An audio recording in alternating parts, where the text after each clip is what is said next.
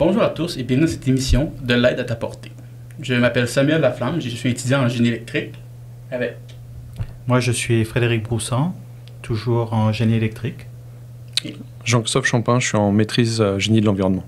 Il sera notre invité fantôme. Bon, on est quand même content d'avoir quelqu'un qui n'est pas en génie électrique en ce moment. Exactement. Ça le fait au moins un avec, une- avec quelque chose de différent. On le représente l'environnement, on est là. On est là. On ne lâche pas. Euh, Aujourd'hui, dans le balado, nous allons parler et de comme. Excusez-moi. Aujourd'hui, dans le balado, nous, allons, nous voulons mettre en lumière l'aide à la portée des étudiants, principalement au niveau de l'aide à la réussite ainsi que l'aide à la psychologie. Nous allons aussi parler d'un sujet méconnu qui est l'aide alimentaire. Pour en parler aujourd'hui, nous avons Bruno Boileau, conseiller à la vie étudiante, ainsi que Kevin Faneuf, intervenant de proximité. C'est nous autres, ça. C'est nous autres, ça. C'est nous autres, c'est nous autres. Alors, au début, on- vous me parlez un peu de vous, ce que vous faites en général, parce que Ouais. je sais que vos postes sont très, très larges, parce que vous avez toujours les mains dans toutes les situations. Puis des fois, on se dit, ah, c'est pas un psychologue, il doit pas faire ça. Mais pourtant, quand vous nous contez des histoires, on se rend compte que vous êtes souvent la première porte que les gens rencontrent ou la, le pr- les premiers à se mettre les pieds dans les plats pour aider les étudiants ou quelque chose du genre. Ah, J'ai l'impression qu'il parlait beaucoup de moi pour la deuxième de partie. regarder, hein? Kevin, Ouais. parce qu'effectivement, ouais, tu veux-tu y aller? euh? Ben oui, ça avait l'air professionnel au début. J'étais comme, Ah, il parle vraiment de Bruno, là. C'était bon, ça. ben euh, oui, effectivement, moi, Kevin Faneuf, euh, je suis intervenant de proximité à l'ETS. Mon travail est un peu, comme tu dis, Samuel, c'est très large. Fait que mon travail à l'ETS, c'est vraiment d'aider les étudiants là où ils en ont besoin, quand ils en ont besoin. Euh, fait que ça peut m'amener effectivement à pas avoir un travail qui est nécessairement bureau.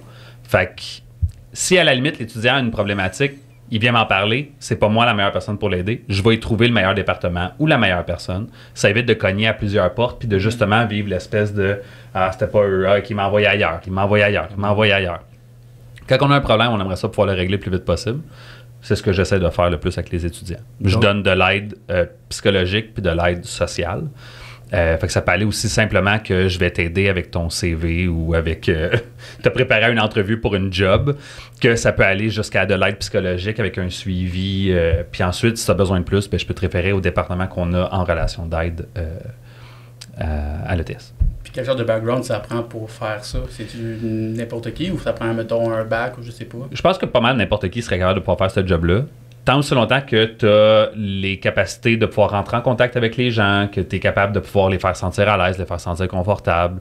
Euh, c'est de te rendre disponible aussi. C'est même si tu es pressé puis tu es entre deux rendez-vous que tu pas beaucoup de temps, c'est de faire sentir que la personne qui est devant toi, c'est elle qui est importante pour le temps qu'elle est là.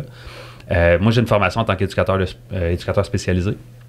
Fait que j'ai une technique, mais euh, c'est quelqu'un qui est en travail social, qui- mais un psy- psychologue, je veux dire, peu importe, tant que tu Mhm. je dirais un métier de relation d'aide, va faire la job, ça serait, ça serait possible. C'est préférable d'avoir un volet social assez développé pour, euh, pour faire ce genre de, de- de tâches que quelqu'un qui est trop euh, cartésien. hein? Euh, je suis effectivement très nuancé comme personne. J'aime ça, les affaires compliquées, les affaires complexes, les casse-têtes. Ce que je dis souvent, c'est le casse-tête humain, c'est mon casse-tête préféré. Mais si tu m'achètes un casse-tête, cinq morceaux, ça se peut que je le finisse jamais parce que c'est pas intéressant.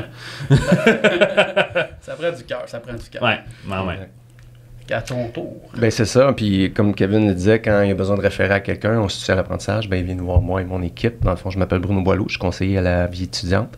Euh, je suis aussi coordonnateur du programme Neurofocus. Donc, ce qu'on fait dans le fond, c'est qu'on reçoit les étudiants, n'importe quel étudiant, ça n'a pas besoin des étudiants qui ont des diagnostics spécifiques ou quoi que ce soit. Les étudiants de l'ETS qui ont besoin d'aide, de soutien, euh, que ce soit au niveau de l'organisation, de la planification, euh, besoin d'aide, ils viennent nous voir. Puis là, ce qu'on fait, c'est qu'on s'assoit avec eux, on regarde leurs besoins, on fait un plan d'intervention, puis on regarde avec eux ben, quels outils qu'ils peuvent utiliser. Puis après ça, ils repartent là, au niveau de leurs études. Là, on fait des suivis aussi avec Kevin. Kevin nous en réfère aussi beaucoup. Euh, D'ailleurs, c'est récent quand même, la, la première ligne. Là, Mhm. on, a, on a Kevin qui est là, on a aussi Mélissa Mhm. euh, qui est là, qui, euh, qui nous réfère les étudiants. C'est vraiment un, un service qui est vraiment très apprécié. Puis ben, nous, de nos côtés, ben, c'est ça, on, on- on appuie les, les étudiants dans leurs besoins euh, euh, quelconques. là. Au fond, le service d'aide aux étudiants, c'est pas seulement un courriel qu'on reçoit une fois de temps en temps? Non. Si seulement c'était ça. ça, je te dirais, ma journée ça. serait relax, là. Tabarouette. Non, et service à la vie étudiante, c'est tellement large, c'est tellement plein. Là, je sais qu'on va le développer un petit peu plus Ouais. aujourd'hui. Là, on va passer à travers un peu chacun des départements slash outils moyens, whatever, qu'on est capable de pouvoir offrir. Mais euh, oui, mettons Bruno qui travaille euh, à l'aide à l'apprentissage, puis moi qui travaille en première ligne, mettons, pour faire le filtre, je reçois, ça va pas, c'est, c'est très régulier que j'ai un étudiant qui va venir, qui a besoin d'aide psychologique, mais qu'en même temps, il a besoin d'outils sur l'organisation. Ouais. Ben, le fait que moi, je suis capable de pouvoir recevoir cette information-là, puis de savoir que Bruno et son équipe vont être les meilleures personnes pour pouvoir aider au niveau de l'organisation, et mes collègues à l'aide psychologique vont être les meilleures personnes pour pouvoir donner le suivi plus court, moyen terme, ça me permet de dire à la personne, tu vas être en de bonnes mains. là. Il n'y en a pas de Ouais. problème. Va voir, tiens, je te donne le lien booking, tu peux aller choisir un rendez-vous. Puis de l'autre côté, on va te donner un rendez-vous en soutien psychologique. Fait que ça permet à l'étudiant de savoir qu'il est bien encadré puis qu'il y a quelqu'un qui est là pour lui. Ça permet de le rassurer. là. Ben oui. Moi-même, j'ai fait affaire avec, ces, avec les services plus qu'une fois. Puis, ça, je veux dire, ça, moi, moi, ça m'a fait beaucoup de bien. Mhm. Je suis quand même parti d'une moyenne d'être correct à, en ce moment, j'ai pas de misère à l'université. Je suis en train de checker pour ma maîtrise ou faire un projet Wow. à l'international. Exact. Puis euh, d'ailleurs, c'est parti avec Neurofocus dans les premiers temps, qui c'était juste pour les TDAH. Mais ça, on va parler plus Ah, tard. ouais. Ouais, on en Ah, ouais. plus tard, Ça a parti de là. Ben, je vais apprendre quelque chose parce que je sais pas d'où est-ce que c'est parti Neurofocus exactement. Moi, je Ah, le connais dans la forme que ça a actuellement, Ouais. mais. C'est un super beau projet. euh, Ah. Vraiment. Ouais. Ok, c'est cool. Puis, tu sais, je sais pas, tu veux parler un peu de ton expérience, mais tu sais, au, au niveau de la, au niveau de l'arrivée dans les services, là, ça se fait super facilement. Là, juste prendre un rendez-vous. Maintenant, ça peut un peu changer. Là, on passe à travers Booking, donc ça se fait en ligne. Donc, tu as juste besoin d'écrire à SVE, à commercial E etsntl.ca. Puis à partir de ce moment-là, euh, tu prends un rendez-vous selon tes disponibilités. Avant, ça peut être compliqué là, avec la. Ouais, il y avait comme un back and forth Ah de oui. courriel de genre je peux lundi à 15h, Exact. oublie ça, j'ai telle affaire. Euh, mardi 2h, t'es-tu disponible? À, pas avant 9h? Ça, ça peut décourager. par contre. Ben oui, c'est Exactement. sûr. Puis là, on fait comme, bon, c'est trop compliqué, on laisse tomber. Là, maintenant, c'est tu Ouais. cliques sur le lien, tu regardes toi dans tes dispos, tu vois toutes les disponibilités du conseiller. Donc, euh, tu prends rendez-vous. euh, tu peux avoir un, rendez-vous qui soit en ligne ou en présentiel. Puis là, une fois que tu nous rencontres, ben, la rencontre dure environ une heure, 50 minutes. Puis là, on regarde voir, ben, c'est quoi tes besoins, qu'est-ce qui se passe? Tu sais, qu'on arrive à l'université, euh, on peut avoir des difficultés des fois à s'adapter. On passe du cégep, on arrive à l'université. Des fois, au cégep, on va se dire, là, on, on peut étudier la veille, on peut se reprendre la dernière C'est minute. tranquille, c'est Ouais. tranquille. Ah, c'est, c'est tranquille. Puis là, on arrive à l'université. Ah, ça a l'air cool. J'ai comme l'impression que ça va être le même euh, beat, hein, euh, si on peut Mhm. dire l'expression. Puis là, on arrive euh, aux intras, puis eh. Ça fait juste monter en exponentiel. Et là, là, on fait comme, oh non, ça fonctionne pas. Là, j'ai pris du retard. Qu'est-ce que je fais? Puis on peut sentir un peu de la panique, puis dire, ben, je suis vraiment fait l'université? Ben oui, t'es, t'es- fait pour l'université. C'est juste que là, tes méthodes de travail, ils sont à revoir. Ouais. Viens nous voir, puis des fois, c'est des petits trucs qu'on peut te donner, euh, que ce soit une organisation, planification, de la façon dont tu prends tes notes. Euh, prendre des notes pour que ça soit vraiment utile quand tu vas faire ton étude. Ça peut être aussi au niveau de ta préparation de l'examen, ta façon aussi, tes techniques de mémorisation. Comment tu fais pour mémoriser? Tu es juste en train de juste de relire tes notes? On peut te donner tes trucs aussi à ce niveau-là. Puis on parle aussi de procrastination, qui est quelque chose Ça, ça, là. C'est- Il n'y a pas une journée qui passe sans que j'ai pas un étudiant qui me parle de procrastination. Ouais, Le c'est- nerf de la guerre. Le nerf de Ah, la ouais. guerre, c'est c'est- c'est là. Donc là, on regarde, ben, c'est quoi ta façon de procrastiner, dans quelle situation, euh, qu'est-ce qu'on peut donner aussi comme truc pour essayer de- d'éviter le plus possible? Et moi, j'appelle de parler de gestion de procrastination plutôt que juste de l'arrêter complètement. Mhm. Il y a des façons de le faire avec l'horaire, tout ça. Fait que c'est déculpabilisant aussi, puis c'est aidant. Fait qu'on est beaucoup comme un coach. Ça peut être une rencontre, ça peut être des fois deux, trois rencontres. Moi, j'ai des étudiants qui viennent me revoir à chaque session, juste pour faire un petit check-up pour voir comment je m'enligne, comment ça va. On suit le dossier, les choses. Donc, c'est disponible. C'est vraiment une belle façon de Mhm. pouvoir s'aider dans ses études. là. Au fond, idéalement, il faudrait qu'on vienne te voir euh, le premier jour de la première session de. Du Tout le monde en même temps. On arrive tous, on arrive tous. C'est pour ça là, qu'on a un lien booking. Exact. C'est pour éviter ça. Mais, non, mais sérieux, c'est pas parce que Ben oui. moi, je, je regarde, j'ai commencé le bac en, en 2017 euh, à temps partiel parce que bon, ben, je travaille aussi en même temps.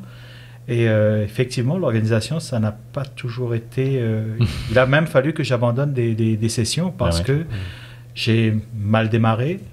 Pour essayer de rattraper, ben, quand on arrive à l'intra, on s'aperçoit que on a des devoirs Mm. où ça n'a pas marché. Mhm. On a l'intra où on s'est planté. Et là, on se dit, euh, il reste plus beaucoup de chance. Là. Donc, préférer Ouais. abandonner. Ouais. Sauf qu'on a déjà payé une session. Payer une Exact. session, c'est quand Des même de l'argent. Ça, ça a un coût. Donc, euh, ça, ça vient miner le moral. Ça vient quand même... euh, et là, on se dit, est-ce que ça vaut vraiment le coup? Donc, effectivement, c'est si j'avais eu cette, euh, cette audace, mais l'information et aussi l'audace d'aller chercher euh, ce soutien, cette aide, Mhm. certainement que j'aurais pu améliorer un petit peu mon, Ouais. mon, mon parcours. là. Puis il y a aussi quelque chose aussi avec la- le mot, nous, c'est soutien à l'apprentissage. Quand on parle d'aide à l'apprentissage, c'est comme si, oh non, tu sais, le- la, la- la perception de j'ai Mhm. besoin d'aide, ou des fois, c'est comme plus difficile. Là, c'est du soutien. C'est d'aller voir, dire, écoute, là, présentement, euh, je suis assez bon pour voir que ma façon de fonctionner fonctionne pas. Mhm. C'est quoi les trucs que je pourrais avoir? Comment je peux procéder? Puis tu parlais de, de venir en début de session. J'ai des étudiants qui, qui viennent nous voir des fois avant même de commencer leur session en nous Mhm. pour voir, tu sais, planifier leurs choses. Donc oui, c'est possible de venir dès la première session. L'idéal, c'est pas d'attendre trop tard. Souvent, ça l'arrive. Là, on attend, on attend, on attend. Puis là, on fait, je suis rendu peut-être un petit peu trop loin. Viens pareil, c'est pas grave. On va regarder, on va préparer. On peut réparer les pots aussi. Casser si c'est le cas. Là.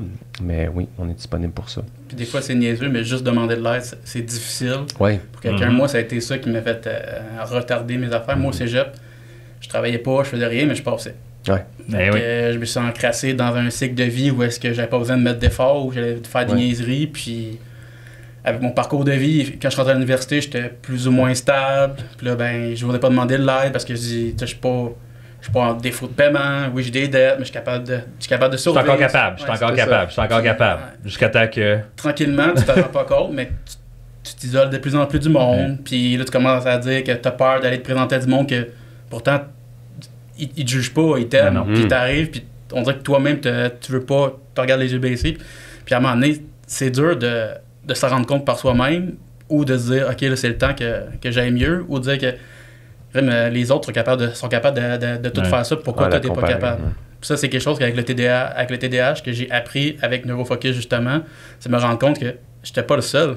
Ils rencontrent des péripéties que ça m'arrivait moi-même. Je pensais que j'étais le seul à vivre ça. Puis Mhm. ça, ça m'a fait réaliser vraiment, là, ça l'a, comment dire, ça a été la première, première manière de me rendre compte que finalement, je peux tout avoir de l'aide. Je suis pas le seul qui en, a- Ouais. qui en aurait besoin. là. Je Ouais, souvent, ce que je dis aux étudiants, euh, j'aime bien ça faire des images parce que ça permet de pouvoir un peu comme sortir de soi puis d'amener quelque chose de l'extérieur qui te fait réaliser des choses. Souvent, ce que je leur dis, c'est comme si tu es rendu sur le marché du travail, puis tu te dis, je vais pas poser de questions. Tout va bien aller. Fait que là, je passe à travers mes journées, puis là, ça fait des semaines que je suis là, puis, ben, tu sais, le monde, il pense que je comprends. Moi, je, je pense que je, je sais que je comprends pas, mais ça va bien aller. Tout, tout, tout va être bien correct. Puis à un moment donné, le boss, il arrive dans un meeting, puis il fait OK, gang, fait que là, on va séparer les projets. Euh, là, toi, ça fait trois mois que tu es là, fait que je pense que tu dois être rendu assez acclimaté, tu comprends la job, fait que j'aurais besoin que tu me livres ça. Tu as à peu près un mois pour me le donner. Ce serait l'équivalent d'un intra, genre, ou d'un Ouais, examen final. Puis là, tu fais final. Oh shit. là, je suis dans la merde parce que j'ai faké depuis tant de semaines. Puis j'ai commencé à me rendre compte que je, je comprenais pas ce qui se passait, mais je préférais garder ça pour moi. Pour plein de raisons différentes.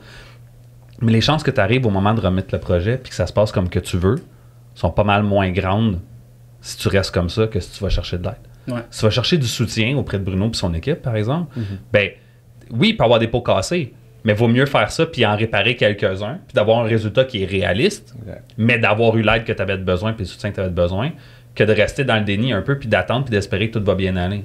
Parce que c'est là que les échecs font le plus mal parce que tu le savais déjà que ça allait pas bien. Tu sais, c'est comme, un cercle. Quand ça va mal, puis tu te laisses, tu te laisses traîner, c'est, comme une blessure. Ouais. Tu te blesses, tu te rends pas, pas soin, mais la blessure va durer beaucoup plus longtemps. Tandis que si Mhm. tu commences le plus tôt possible, c'est plus facile de rattraper le coup. Clairement. Exact. Fait que ça, ça c'est un bon point. là. Puis aussi la charge mentale, c'est niaiseux, mais tu te rajoutes toujours une petite affaire. C'est comme si je tiens un verre d'eau comme ça. Ouais. Mais tu sais, quand t'es jeune, jusqu'à 20 ans, c'est facile, t'es en forme, mais plus en plus que ça avance, plus en plus que ça devient lourd. Puis là, ton corps, il, tra- tranquillement, il réagit. Tu dors moins, t'es un peu plus anxieux. puis là, ça s'en vient. Puis. Tu veux dire que je suis vieux? Ouais, ben je commençais à penser qu'il jugeait mon âge aussi. Là, j'étais comme. Que je suis pas capable de lever- Je vais te le tenir ton verre d'eau, moi. Non, mais. ben oui, ben oui. c'est l'image. Ouais. À un moment donné, il faut que tu déposes le verre d'eau. Ouais. Puis le Ouais. verre d'eau, ben, tu viens le déposer, puis là, on regarde qu'est-ce qu'il y a dans ton verre d'eau. Puis des fois, on pense qu'il y a juste une affaire, puis là, on commence à creuser, puis ah, il y a ça, il y a ça, il y a ça, il y a ça. Finalement, hey, OK, il y en a beaucoup. Vois-tu, on va décortiquer ça ensemble? Puis oui, tu peux venir directement nous voir, nous. Tu sais, souvent, on ne sait pas. Est-ce que c'est est -ce c'est des problèmes au niveau de mes méthodes d'études ou Mhm. c'est un problème de la façon dont je vois les choses? Des fois, le premier contact, Kevin, on va le voir, on jase avec, puis lui, il va t'aider à. Tu sais, comme s'il y avait une flashlight, Kevin, puis je sais pas si l'image est bonne. là. Ouais, ouais. Il y a une, une lampe, une lampe torchère, là, puis il est clair pour trouver, voir c'est quoi le problème. Puis là, quand tu le vois après ça, ben, tu peux diriger vers les différents services. Que c'est vraiment une belle façon de, de Moi, je, procéder. je trouve que ça m'a aidé beaucoup parce que tu veux se parler avec la personne. Puis après ça, en te disant, des fois, c'est là que tu te rends compte que, ah, peut-être que j'ai un petit défaut là. Fait que là, tu ressors, puis elle, elle t'écoute, puis Mhm. elle t'encourage, puis tu sais, pas, euh, tu devrais faire ça. C'est moi ce que je te suggère Exact. dans ta situation, puis ça fait de même. Fait que c'est très invitant quand t'es en personne. là. Ben oui. Parce qu'en même temps aussi en relation d'aide, puis ça c'est vrai autant pour eux que en, en- à l'aide psychologique, c'est pas notre vie, c'est pas notre situation. Moi, en tant que Kevin, je ne suis pas dans tes souliers. C'est pas moi qui vis ta vie, c'est pas moi qui ai des intérêts à faire. C'est pas. Je vais pas commencer à prendre des décisions à ta place. Ça serait Mhm. complètement irresponsable de ma part. Puis je suis pas en train de t'aider à prendre ces décisions-là pour le futur toi, plus tard quand moi je serai pas là. Fait que la meilleure chose que je peux faire, c'est faire des suggestions, t'accompagner à travers les suggestions. Puis les suggestions, habituellement, sont individualisées, ce qui veut dire que toi, même si tu as un TDAH, c'est pas la même chose qu'une autre personne qui a un TDAH. Il peut y avoir des traits communs, Mhm. mais Samuel et, mettons, euh, Johnny, c'est pas la même personne. Fait que l'aide qu'on va apporter va être beaucoup plus individualisée à pouvoir dire comme, mais toi, qu'est-ce qui te motive? Toi, ce qui te fait du bien? Toi, ce qui te démotive? Toi, qu'est-ce qui t'amène à procrastiner? Toutes ces choses-là sont très individuelles. Fait que quand tu parles de, flashlight, Bruno, c'est exactement ça. Comment est-ce que je suis capable de pouvoir prendre toi, Samuel, et travailler avec toi, puis pas que tu aies l'impression que je ferais la même chose avec n'importe qui? Mhm. Et là, d'agrandir. Ben oui. Ah oui. C'est plus que de la réussite, c'est vraiment nous amener à, à trouver euh, qui nous sommes et euh, où est-ce qu'on veut se diriger. Mhm. C'est vraiment un support qui est, qui est intéressant. Je voulais savoir, euh, ça fait longtemps que, que ce service il est mis en place, De l'aide à la réussite? l'aide à la soutien à l'apprentissage? Là, je fais comme le lien Ben, entre en les fait, deux. C'est ça, c'est parce qu'en fait, on est en train de parler justement de neurofocus, le TDAH ou d'autres problématiques comme ça, mais les différentes personnes pourraient se poser la question est-ce que c'est quelque chose qui est nouveau? Donc c'est pas raison qu'on on vient le présenter aujourd'hui. Moi, je suis c'est arrivé au mois d'août, hein. Fait que, euh, je suis vraiment nouveau, là. Ok, d'accord. Donc ça a commencé avec toi. Non, clairement pas. Tu veux pas que ça commence avec moi. Tu veux que ça commence avec d'autres personnes. Ok, d'accord. Ben, en- dans le fond, euh, les services à la vie étudiante, on a changé de nom aussi. Ceux qui se souviennent, c'était en 2017, c'était les services aux étudiants. Aux étudiants, oui. Les services aux étudiants ont toujours été là. Il y a toujours des services qui ont été offerts au niveau des étudiants. Donc, soutien à l'apprentissage, a peut-être eu des terminaisons différentes, on les appelait différemment, mais il y a toujours un service de soutien, d'aide à l'apprentissage et un service psychologique aussi, dont on va retrouver à l'intérieur de ça. On va en parler aussi, mais intervenant psychosocial, psychologue. Et de l'autre côté, on va avoir des, euh, gens en psychoéducation, en enseignement, euh, en soutien à l'apprentissage, orthophonie, orthopédagogie, qui vont être là pour pouvoir soutenir euh, les étudiants. Donc, ça a toujours fait partie de ça. Je ne sais pas si peut-être il y avait une- au niveau de la publicité, publicité était peut-être moins visible, tout ça, mais on- ça a toujours été présent, les services ont toujours été là. Maintenant, il y a toujours des différents programmes, c'est toujours en évolution. On, est, on, essaie de regarder, voir qu'est-ce qui se fait ailleurs, les nouvelles tendances, tout ça. Comme Mhm. le programme Neurofocus, c'est quelque chose qui date depuis cinq ans, donc c'est quelque chose qui est récent. Ça a évolué aussi avec le temps. C'est encore en train d'évoluer, ce programme-là. Euh, on en a d'autres aussi qu'on va pouvoir euh, parler peut-être au, au courant du, euh, du podcast, là, des différents services, mais ces services-là ont toujours été présents et à la disposition aussi des étudiants. Et le, le profil des gens qui, qui viennent vous voir, est-ce que ça a évolué? Parce qu'on s'entend qu'on a eu euh, malheureusement la pandémie Ouais. qui a eu un impact majeur sur les relations humaines.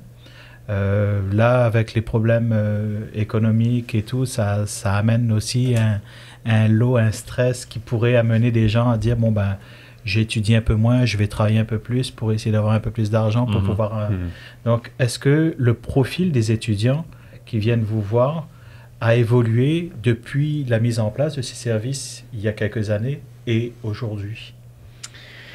Euh, ça serait difficile un peu de répondre au niveau du profil des étudiants. Je dirais peut-être au niveau de, de santé, euh, santé mentale, psychologique, il y a quand même eu une augmentation à, à ce niveau-là. Ouais. Je ne sais pas si Kevin, tu peux... euh, Ouais. Tu peux Euh, je me rappelle pas exactement des pourcentages, mais il y a clairement eu une, re- une- une recrudescence des demandes de services d'aide psychologique. Je pense que c'est dû à plusieurs choses. La pandémie, clairement, a mis en lumière certaines choses chez certaines personnes, Mhm. puis ils se sont dit, ben là, je suis chez moi.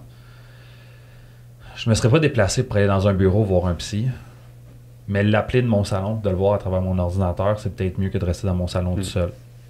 Fait que là, on a eu comme une espèce d'amorce qui a été créée à dire, ben, peut-être que je devrais y aller. Et je pense qu'il y a aussi une job gouvernementale, sociale qui a été faite Ouais. à mettre en lumière aussi ça. On a ces besoins-là. Là où est-ce qu'avant, tu pouvais te divertir puis endormir un peu des choses, euh, on les engourdit. Mais là, on pouvait plus les engourdir vraiment, autre qu'à la limite dans la consommation.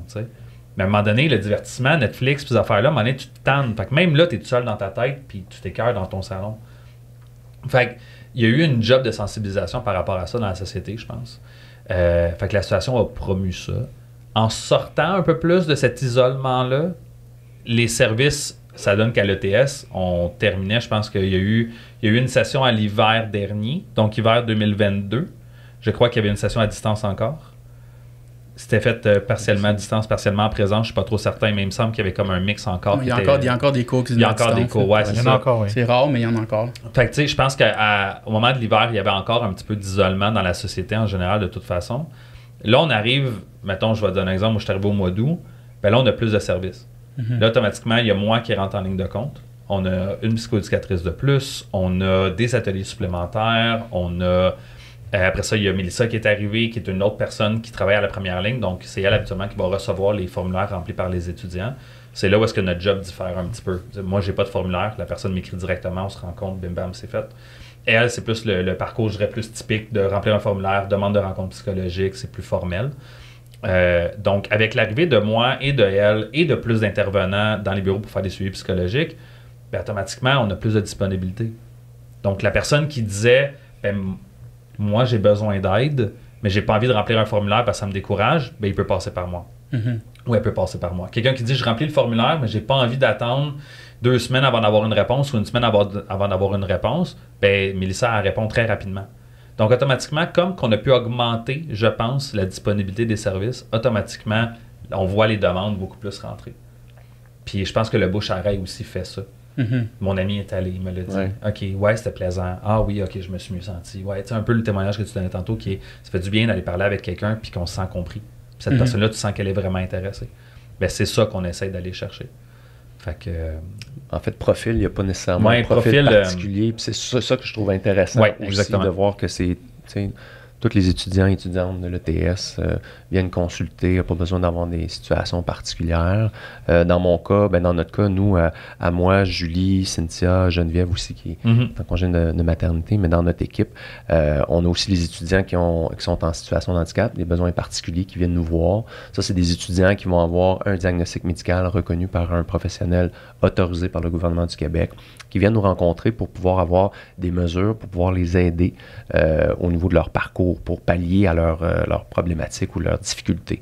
Donc là, nous, on s'assoit avec eux, on fait une évaluation euh, des recommandations qui sont faites soit par le spécialiste, puis ensuite on fait un plan d'intervention adapté. C'est sûr que les mesures vont être en fonction des besoins qu'on va faire avec les étudiants.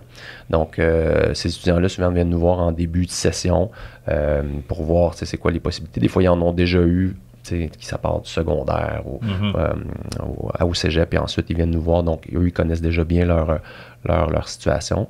Puis sinon, euh, euh, les étudiants, des fois, qui vont avoir des diagnostics sur le tard. Donc là, ils doivent tout apprendre aussi. Ben, Mhm. que- c'est quoi l'impact? Pourquoi que ça fonctionne comme ça? Euh, pourquoi je réagis de telle façon dans, dans les périodes de, de stress, tout ça? Donc, on décortique ça avec eux.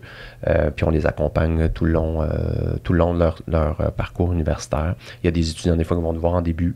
Ils vont adapter des choses, ça va bien aller. Puis comme j'ai dit tantôt, il y a des étudiants qui reviennent régulièrement pour faire un petit, un petit check-up, pour voir comment ça se passe. là. Puis Ce qui est le fun aussi, c'est que selon mon expérience, moi, je, me connais ou j'avais Ouais. l'impression de me connaître. Puis c'est en, en voyant comme avec un neurofocus que j'ai permis de découvrir que finalement mon comportement, il vient pas de ce que je pensais. Mhm. Donc, faut que je m'adapte d'une manière différente parce que c'est ce que j'avais ma vision de moi-même. C'est je vivais, mais je l'interprétais d'une manière différente Ben, que qu'est-ce que mon corps, mettons, l'interprétait. Ouais. Fait que là, ça me développait de l'anxiété ou l'effet que je me dis, tout le monde est capable de le faire, pourquoi moi, j'y arrive pas? Mhm. Ça, c'est quelque chose que je me suis répété souvent dans ma tête. Puis à un moment donné, même si je me- je ne m'en rends pas compte, je le fais automatiquement. Je ne comprends pas comment ils sont capables de faire ça. Tout le, monde- tout le monde, en, euh, ils font leur devoir. Moi, ça, ça, me, ça me prend tellement d'énergie. Il faut, que je- faut que je me donne un coup de pied dans le cul phénoménal que je Mhm. prends les monsters pour essayer juste de faire deux lignes de texte, puis après ça, perdre ma- tout perdre. Moi, c'est quelque chose que j'ai appris avec Neurofocus à justement focuser les bons points euh, sur moi. Mhm. Puis en parlant de neurofocus, euh, Ouais. on va rentrer dans le vif du sujet. Euh, dans le fond, ça vient d'où? Parce que moi, j'étais dans les premières, euh, les premiers que- Ouais. éditions, sauf que j'étais pas la première, j'étais la deuxième. C'est ça. Donc, euh, comment ça se passait pour nous? C'était, on avait un kinésiologue qui nous on faisait un entraînement en groupe. Ouais. Après ça, on allait faire euh, la méditation avec un appareil Muse. Ouais. Puis juste faire ça, ça, te détend, c'est, phénoménal. je regardais, c'est clair que ça coûte cher un peu les, les Ouais. appareils, là, mais je regardais souvent s'il n'y en avait pas en rabais pour essayer de répéter l'expérience Ah ouais. chez moi. Parce Ouais. que même dans le métro, des fois, je commençais à essayer de, de faire ça. parce que ça me permettait de, de bien commencer la journée puis de bien euh, me recentrer malgré Mm. toutes mes anxiétés puis euh, des choses comme ça. Puis non seulement, en plus, on avait des cours sur c'est quoi le TDAH, comment bien s'organiser. Mhm. Avec euh, même des fois, c'était du monde d'université qui a fait des maîtrises là-dedans qui sont venus nous présenter. là. Fait que ça pour moi, c'était vraiment, un, on va dire, un game changer. là. Ça m'a vraiment beaucoup aidé. Puis là, de ce que je peux voir, c'est que c'est pas juste les TDAH, maintenant, ça Mhm. inclut pas mal tout le monde. On l'a ouvert à tout le monde. Parce qu'au début, de, quand ça a commencé, tout ça, euh, moi, quand je suis arrivé, ça fait six ans, je suis à l'ETS. Quand je suis arrivé, euh, l'équipe était, était différente aussi. Puis il y avait un dossier. Ouais. C'est une belle façon de dire que tu es un peu content que je sois là ou. Ben oui, je suis très content de toi. Je suis très content que tu sois là, Kevin. Euh, puis c'est ça, euh, ce qu'on avait euh, comme demande, c'est qu'on remarquait qu'il y avait des étudiants que leur première euh, année d'université, avait un, un- un taux de difficulté de, de diplomation, de poursuite, parce que Mm. difficulté d'adaptation, difficulté au niveau de l'organisation, tout ça. Puis on remarquait aussi que dans euh, la- la- le pourcentage des étudiants qui avaient euh, ouvert un dossier avec nous, euh, TDAH, avaient de la difficulté encore plus que les autres étudiants à poursuivre pour toutes les raisons qu'on connaît, organisation, concentration, suivre les cours, les deadlines, les dates de remise, tout ça, c'était difficile. Mhm. Fait qu'on a dit, est-ce qu'on peut essayer de développer quelque chose pour pouvoir être avec eux, les accompagner, leur donner les meilleurs outils. Puis aussi, ce qui est intéressant avec Neurofocus, c'est qu'il y avait un suivi aussi. Euh, on se voyait quatre semaines à ce, moment-là, pas quatre semaines, mais quatre fois durant la session, avec un plan d'intervention, comme si on avait un coach privé avec Ben ouais. nous qui nous accompagne. Donc, on a comme commencé à regarder, recension un petit peu scientifique de qu'est-ce qui se faisait ailleurs. On a remarqué que l'activité physique, c'était quelque chose qui était vraiment très, très aidant. Pourquoi? Parce qu'on génère euh, de la dopamine, de la noradrénaline quand on s'entraîne, quand on bouge, ce qui aide à la concentration et la capacité de focus. Donc, on s'est dit, on va donner une heure d'activité physique avec un kinésiologue du centre sportif. On a un super beau centre sportif, on a des kinésiologues extraordinaires. Fait qu'on a décidé de faire ça pendant une heure. Ensuite, 30 minutes de pause, vestiaire, on change. Ensuite, on peut manger un petit quelque chose. On retrouve, on se retrouve en atelier. Puis juste avant de commencer, on fait une période de méditation. Pourquoi une période de méditation? C'est que là, on vient de bouger. On vient de, s'énergiser. On a comme laissé sortir de la tension. On va s'installer pour retourner dans une capacité de focus pendant 10-15 minutes. Puis on va faire différents types de méditation. C'était pas juste une sorte. On, c'était des méditations guidées sur différents thèmes, différentes façons de fonctionner. Puis ensuite, on va avoir des ateliers qui vont être en lien avec qu'est-ce qu'on peut faire pour optimiser nos capacités. Dans ce moment-là, c'était plus axé pour les personnes qui avaient un TDAH. Mais là, maintenant, ce qu'on a fait, c'est qu'on l'a ouvert à tous les étudiants. Fait que c'est pas juste nécessairement une problématique d'organisation. Là. Oui, on s'entend que les, les étudiants qui ont un trouble déficit de l'attention, ça peut être difficile, mais on, peut tout en avoir de la difficulté. On n'a pas besoin d'avoir un diagnostic pour avoir la difficulté à s'organiser. Donc, Ouais. ça, on le prend. Euh, on a aussi la gestion du stress. On a parlé du stress. Ben, tout le monde a envie. Comment on fait pour le mieux gérer? Fait qu'on a des ateliers sur ça. On a sur la motivation. On en a un sur la procrastination. Euh, Mon préféré. ouais, ouais, moi, j'adore beaucoup celui-là. Je l'adore parce qu'on en fait tous, la Mhm. procrastination. Il y en a qui ont une meilleure façon de le gérer, puis il y en a d'autres, ben, c'est très problématique. Donc, on regarde tout ça. On en a un sur la motivation, je ne sais pas si je l'ai nommé, motivation, la prise de notes efficace. Comment prendre des notes avec les bons outils, les bonnes techniques? Euh, on en a un autre sur le sommeil. la motivation? Non.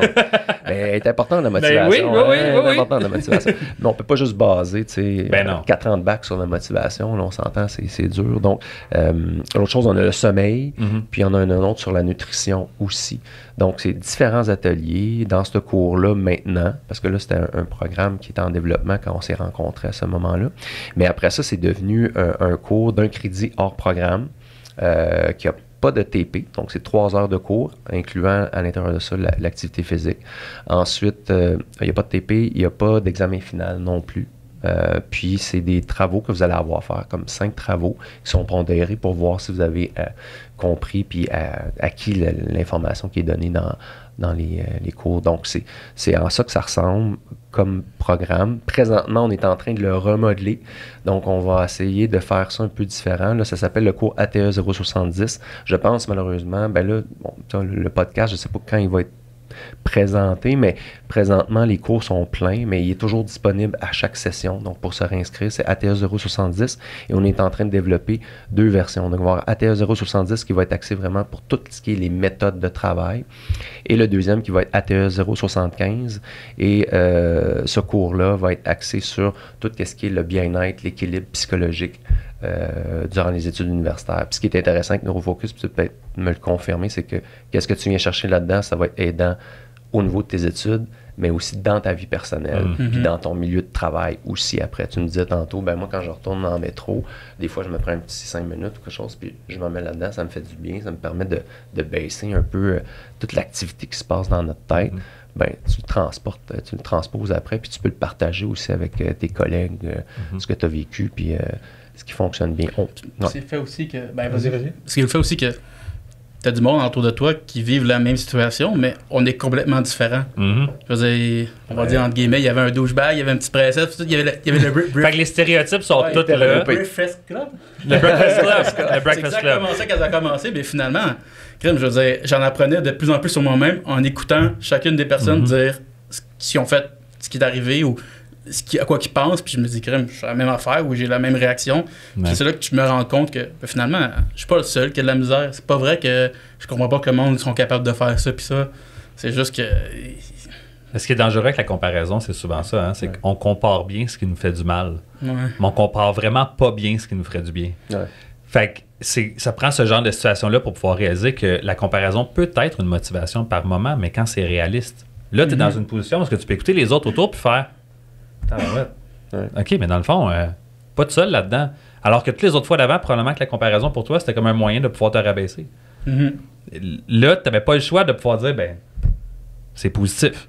Ouais. Cette personne-là, puis moi, puis eux, puis. Ah, OK, dans le fond, je suis pas tout seul. Puis on était juste avant, la, mettons, la, la méditation, on avait toujours un peu un moment où on se parlait, où des fois le monde disait des situations embarrassantes qu'il avait vécues. Mhm. Puis là, tu là, as le goût d'en parler toi aussi, puis tu te rends compte que les autres aussi ont déjà vécu ça. Fait que moi, c'est, on dirait que ça m'a vraiment me solidifier un peu, puis Ben oui. que. Ouais. Moi, ce que je voulais savoir, excuse-moi, euh, tu parlais donc du, du programme le ATE 070, Oui. bientôt 75. Est-ce que tous les ateliers sont donnés dans ce programme-là ou sinon c'est un atelier pour une session, un autre atelier pour une autre session Oui, là présentement, comme quand j'ai expliqué les différents ateliers, c'était dans Aterezo 70, euh, dans la version qu'elle est présentement. Là, on est en train de scinder les deux parce qu'on a eu comme commentaire à travers ça, c'est que on voit tellement d'ateliers dans une session complète qu'on n'a pas le temps d'intégrer comme Mhm. il faut chacun des ateliers. Donc, ce qu'on a fait dans, dans mon équipe, euh, parce que je suis pas seul là-dedans, j'ai ma collègue Julie Brisson, qui est la collaboratrice. J'ai aussi euh, Alexis Vaillancourt, qui est kinésiologue du centre sportif, et aussi Geneviève Collard, qui anime. Donc, on a quatre groupes. Euh, On leur dit bonjour. On leur dit bonjour d'ailleurs, oui. Euh, juste pas penser que je suis, je suis seul là-dedans. là. Donc, ce qu'on a fait en équipe, on a dit, ben écoute, on va régler ce problème-là. On va scinder vraiment en deux blocs. Puis, ce qu'on va faire, c'est qu'on va avoir un thème, un atelier durant le premier cours. Puis, le prochain cours, ça va être la mise en application des choses. Donc, Mhm. en groupe, on va avoir des échanges, on va avoir des ateliers, des activités. Puis, il n'y aura plus de devoirs à faire. Donc, ça va être directement dans le cours. Donc, c'est vraiment, j'appelle ça un cours bonbon, là, parce que Mhm. vraiment, tu optimises tes capacités. Tu as une capacité aussi, une, une espace pour pouvoir échanger, Mhm. parler de ce que tu vis, qui est vraiment très bénéfique, comme tu peux euh, le constater, là, d'échanger avec les autres pour voir, ben, je suis pas le seul à vivre ça. là. Mhm. Et euh, au niveau donc de, de, cette, euh, de ces modifications qui sont, Ouais. qui sont apportées, euh, est-ce que tu as un suivi avec justement les, les, les gens par la suite? Est-ce que vous savez si oui ou non euh, ça a été, oui, ça peut être bénéfique Mm. à l'instant présent, mais dans les prochaines sessions, etc., est-ce que, est que vous avez eu des, des retours de, de ces personnes en disant, hey, au fait, euh, ça- ce, que tu as, ce que tu as fait là, ça ça m'a aidé durant tout mon, tout mon cursus? Ah, on, peut, on peut pas me nommer dans la. C'est ça, parce qu'on va penser, Toi, t'es pas, toi, on va t'es pas, penser- toi, t'es pas là, toi. On peut pas juste prendre le témoignage de Samuel. on va penser que c'est, euh, payé On en l'a table, ça, là, hein. mais non, mais écoute, justement, c'est, beaucoup des, des, retours des étudiants. Là. Euh, moi, je les vois régulièrement. Ils passent Hey Bruno, comment ça va? Écoute, là, des commentaires un peu comme tu m'as dit, on en a régulièrement. régulièrement. Euh, on a essayé de voir comment qu'on peut trouver une façon d'évaluer le, le taux de réussite, mais il y a tellement de facteurs qui peuvent veni- venir en, en- en- en ligne de compte. Moi, ce que j'avais fait au début pour pouvoir valider euh, auprès de ma direction, je prenais les moyennes générales des étudiants, puis après ça, je, regardais après Neurofocus pour voir, puis il y avait une augmentation, mais comment démontrer que c'était seulement... lien n'est c'est- pas... c'est-tu parce que dans la première session, c'était tous des cours difficiles que l'étudiant avait, puis le, cours après, c'était des cours départementaux qui allaient bien? Où on fait pour. Là, c'était trop compliqué. Bah, donc, ce qu'on regarde, c'est beaucoup le taux d'appréciation. Donc, on fait des évaluations à la fin pour voir où a été la- l'appréciation de l'étudiant par rapport à des problématiques qu'il y avait en début. Donc, on regarde l'organisation, la prise de notes, tout ça. Puis ensuite, on dit, ben, après le programme, comment tu évalues sur 5, toi, euh, ta capacité de mieux t'organiser, tout ça. Puis eux, nous, euh, montraient leur, taux de réussite par rapport à ça. C'était la seule façon qu'on avait de pouvoir avoir un retour au niveau des étudiants ou les commentaires qu'on a là, qui sont majoritairement positifs. là. Ben moi, je le reçois beaucoup. Comme je suis un nouvel employé à l'ETS depuis le mois d'août, euh, Neurofocus, j'ai appris à le découvrir, oui, à travers mes collègues, mais aussi à travers les étudiants qui me disaient Ah, ben moi, j'ai fait Neurofocus euh, à l'automne, j'ai fait Neurofocus l'année passée. Puis c'est ça qui m'a aidé à faire X ou Y. Je suis maintenant plus capable, je me sens plus confiant, je me sens plus confiante, je me sens plus à l'aise. Euh, avant, je m'organisais pas pantoute, j'utilisais pas mon agenda. Cette heure, je peux pas me passer d'avoir mon agenda. J'ai un agenda électronique, je m'en sers, c'est plus réaliste. J'essayais toujours d'avoir un agenda papier, puis ça marchait pas. Là, grâce à Neurofocus, j'ai appris à utiliser d'autres outils, la méditation. J'ai découvert la méditation à travers Neurofocus. Je l'entends, même si c'est des rencontres qui n'ont pas du tout rapport avec l'aide à l'apprentissage, de soutien à l'apprentissage, je, la- je le reçois par les étudiants quand ils viennent me demander de l'aide psychologique, par exemple. Ou des étudiants dans les clubs. Quand que je passe dans les clubs que je parle, il y en a qui sont comme Ah, j'ai fait Neurofocus la session passée. Je sais c'est quoi l'anxiété. Je fais, ah! OK! Ça a l'air niaiseux, mais ils sont, sont fiers, puis heureuses, puis contents de pouvoir partager leur appréciation du programme. C'est vraiment un programme qui est fait pour le développement de soi. Mhm. Ça va aider dans toutes les sphères de ta vie. Il faudrait peut-être même rendre ce programme quasiment obligatoire. Non, mais c'est... c'est- je- c'est- c'est- Ben là, écoute, c'est le Non, mais- propose. Non, mais c'est c'est une, c'est une réalité parce qu'en fait, qu'on le veuille ou non, rares sont les personnes arrivées à l'ETS qui n'ont pas besoin de ce genre de, de, de, de- de soutien. Ben, rares sont les êtres humains qui n'ont pas besoin d'un peu de ce soutien. Ce soutien. J'irai avec ça. oui, mais on, on dépasse le TS. Là. On ça, peut mettre ça à la planète, On, se, concentre, on Ah se ouais. concentrera sur notre, sur notre clientèle. C'est sûr et certain que euh, la grande majorité, je, m- Mm. je me mets aussi là-dedans, euh, c'est sûr que si j'avais eu euh, ce genre de, de, de programme, que je, je m'étais impliqué là-dedans, Mhm. Ouais. il y a de bonnes chances que j'aurais eu une, euh, une approche très différente de, de, de ma scolarité. là. Ouais. Et euh, ça, je, je me dis, ben, aujourd'hui, je suis à la fin, c'est vrai, mais euh, à recommencer, ben, peut-être que je commencerai le premier cours Mhm. à prendre au lieu de commencer à regarder des cours de mathématiques et autres. Ouais. Peut-être que le premier cours à prendre, ce serait de, de, de faire ce cours-là, quasiment euh, obligatoire à tous les cours. Mm. Parce qu'en fait, ce sont les meilleurs outils que vous nous apportez Ouais. pour nous permettre de bien de, de, de, de passer au travers de, de, de tout ça. Donc, euh, Parce que tu commences avec une boîte à outils pas mal plus fournie que Ouais. juste avec un marteau puis un tournevis étoile. tu. Mhm. Tu commences avec plus d'outils. Donc, s'il y a des embûches, puis il risque d'en avoir, tu vas avoir plus d'outils pour pouvoir les gérer. C'est un peu la raison aussi pour laquelle est-ce que on faisait en début de session des ateliers euh, qui sont en Ouais. dehors de Neurofocus, mais qui sont fortement inspirés de ce qui est travaillé dans Neurofocus. Gestion du temps, les outils les plus efficaces, prise de notes efficace, Prise de notes, procrastination, Organisation. organisation. On les fait, ces ateliers-là, Ouais. dans le but de pouvoir montrer au reste de la population de l'ETS, check, si t'as Ouais. envie, puis tu veux travailler ces choses-là, viens-t'en, c'est ici que ça se passe. Puis tout est gratuit. Là. Ouais. Ouais, c'est ça. Puis vous allez voir, comme Kevin y parle, là, ça c'est nouveau de la session passée, on a débuté ça. À chaque début de session, après, soit la première ou la deuxième Mhm. semaine de la session, euh, à la maison des étudiants, là, où ce que les estrades, là, euh, on s'installe là, puis on a des ateliers qu'on donne sur l'heure du dîner. Donc, tu n'as même pas besoin de t'inscrire. Tu te dis, ben, au lieu d'aller manger à la cafétéria euh, sur l'heure du midi, je vais aller m'installer là avec mes amis. Tu peux jaser. Nous, Mhm. on va être là. Moi, Kevin, nos collègues aussi. Puis on donne un atelier sur l'heure du dîner. Fait que là, tu es là, tu regardes. Tu prends Tu manges ton macaroni, tu prends tes notes. que c'est- ouvert à tout le monde, c'est accessible. Puis tu prends des notes, tu peux y aller pour toute la semaine. D'ailleurs, la maison des étudiants, c'est une belle place là, pour chiller, s'écraser ou, euh, Ou manger travailler. amis, ou travailler, Ouais. tout ça. Donc, euh, regardez à chaque début de session, pour chaque session, il y en a une qui s'en vient cet été aussi. Là, ça va être à partir du 8. Euh, ouais, durant la semaine du 8 mai, on va avoir des ateliers à toutes, euh, toutes les heures du dîner. Donc, venez nous voir, euh, c'est disponible pour ça. Puis pour revenir un peu avec ce que tu disais, on le reçoit souvent ce commentaire-là que Neurofocus devrait être obligatoire dans les débuts de session. Avec le mot obligatoire, il y a un aspect que je comprends qu'on Ouais. devrait avoir accès, mais j'aime bien quand les gens viennent parce qu'ils ont envie pour venir chercher des outils. Les outils fonctionnent davantage Mhm. que si je te dis, tu as besoin de ces outils-là quand tu n'as pas la nécessité. C'est ça le problème, c'est que, excuse-moi, Vas-y, vas-y, vas-y. c'est le problème vient de là, c'est que moi, quand je sors du cégep, Mhm. bah, dans mon cas, je suis un petit peu plus vieux, donc euh, ça ne se voit pas. Pour ceux, pour ceux qui écoutent le balado en ce moment, juste en audio, ils n'ont aucune idée que tu es plus vieux que tout le monde autour de la table. Pour ceux qui regardent la vidéo, par exemple, vous vous dites pourquoi est-ce qu'il précise encore. Mais Mais c'est ça, c'est celui qui sort du cégep, Ouais. en règle générale, il connaît tout. Le monde, c'est rien. Ah oui. Lui, il est capable de, de traverser euh, à travers toutes les épreuves du monde. Il a tout vu, donc il pourra faire tout. Mais quand il arrive euh, à l'université, souvent, le petit muret qu'il pensait qu'il devait euh, franchir est une montagne. Mm. Et donc, euh, c'est pour cette raison, quand, quand je parle d'obligé, c'est, je parlerai plus de préalable. Ouais.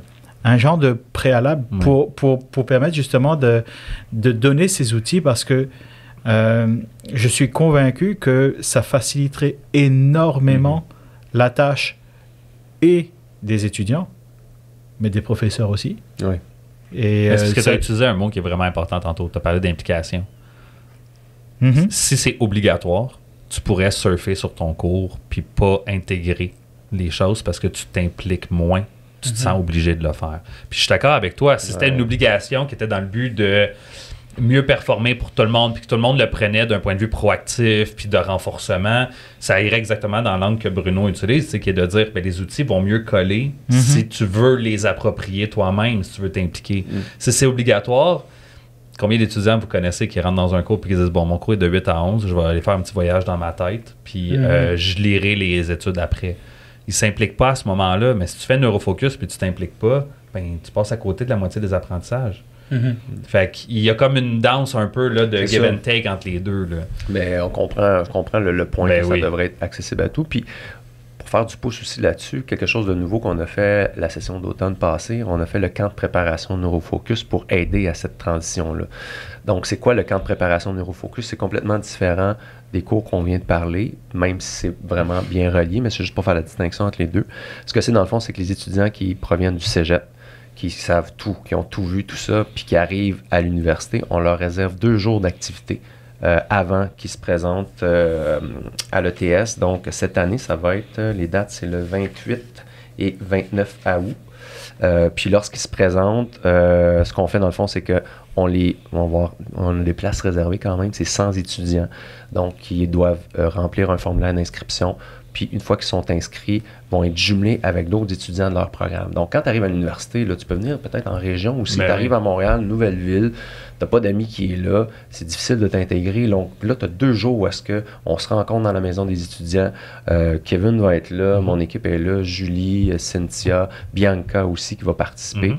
Euh, puis ce qu'on fait dans le fond, c'est qu'on on monte des activités euh, pour lesquelles ils vont pouvoir se rencontrer par programme aussi, vont pouvoir aussi apprendre à comment fonctionne l'ETS. Donc on va se promener sur tout le campus. Il va y avoir des visites qui vont être faites du quartier aussi. Donc on visite aussi le quartier pour mieux connaître son La environnement. visite de Griffintown avait été vraiment très appréciée par les étudiants à la session d'automne. Vraiment, sais, on a fait Faire au prix que ça coûte, on, a fait, on a fait le contour de tous les cônes et les chantiers de construction. Oui. C'était extraordinaire. Mais au moins, C'était poussiéreux mais plaisant. c'est ça. Puis de connaître Comme une microbrasserie. Ben, c'est vrai. Oui, le pub, on a été visiter le pub aussi. Euh, donc, il y a tout cet environnement-là. Donc, après deux jours, quand tu commences la session, ensuite, là, on croise croisait les étudiants, Mhm. il y avait déjà des connexions. Eux, pour eux, là, ça a été le jour puis la nuit, puis ils nous le disent encore que ces deux journées-là, ça a été une longueur d'avance là, sur les autres. Ça a été déterminant. Ben, Ouais. ils connaissaient tous les endroits, les services. Donc, les étudiants n'avaient pas de dire Oh là, j'ai telle situation, qu'est-ce que je Où fais? est-ce que je m'en vais faire imprimer mes trucs? Combien ça coûte? Qu'est-ce que je fais? Chercher ma carte étudiante. Le stress est passé, donc Ouais. il y avait déjà leur horaire, ils pouvaient aller voir déjà dans l'université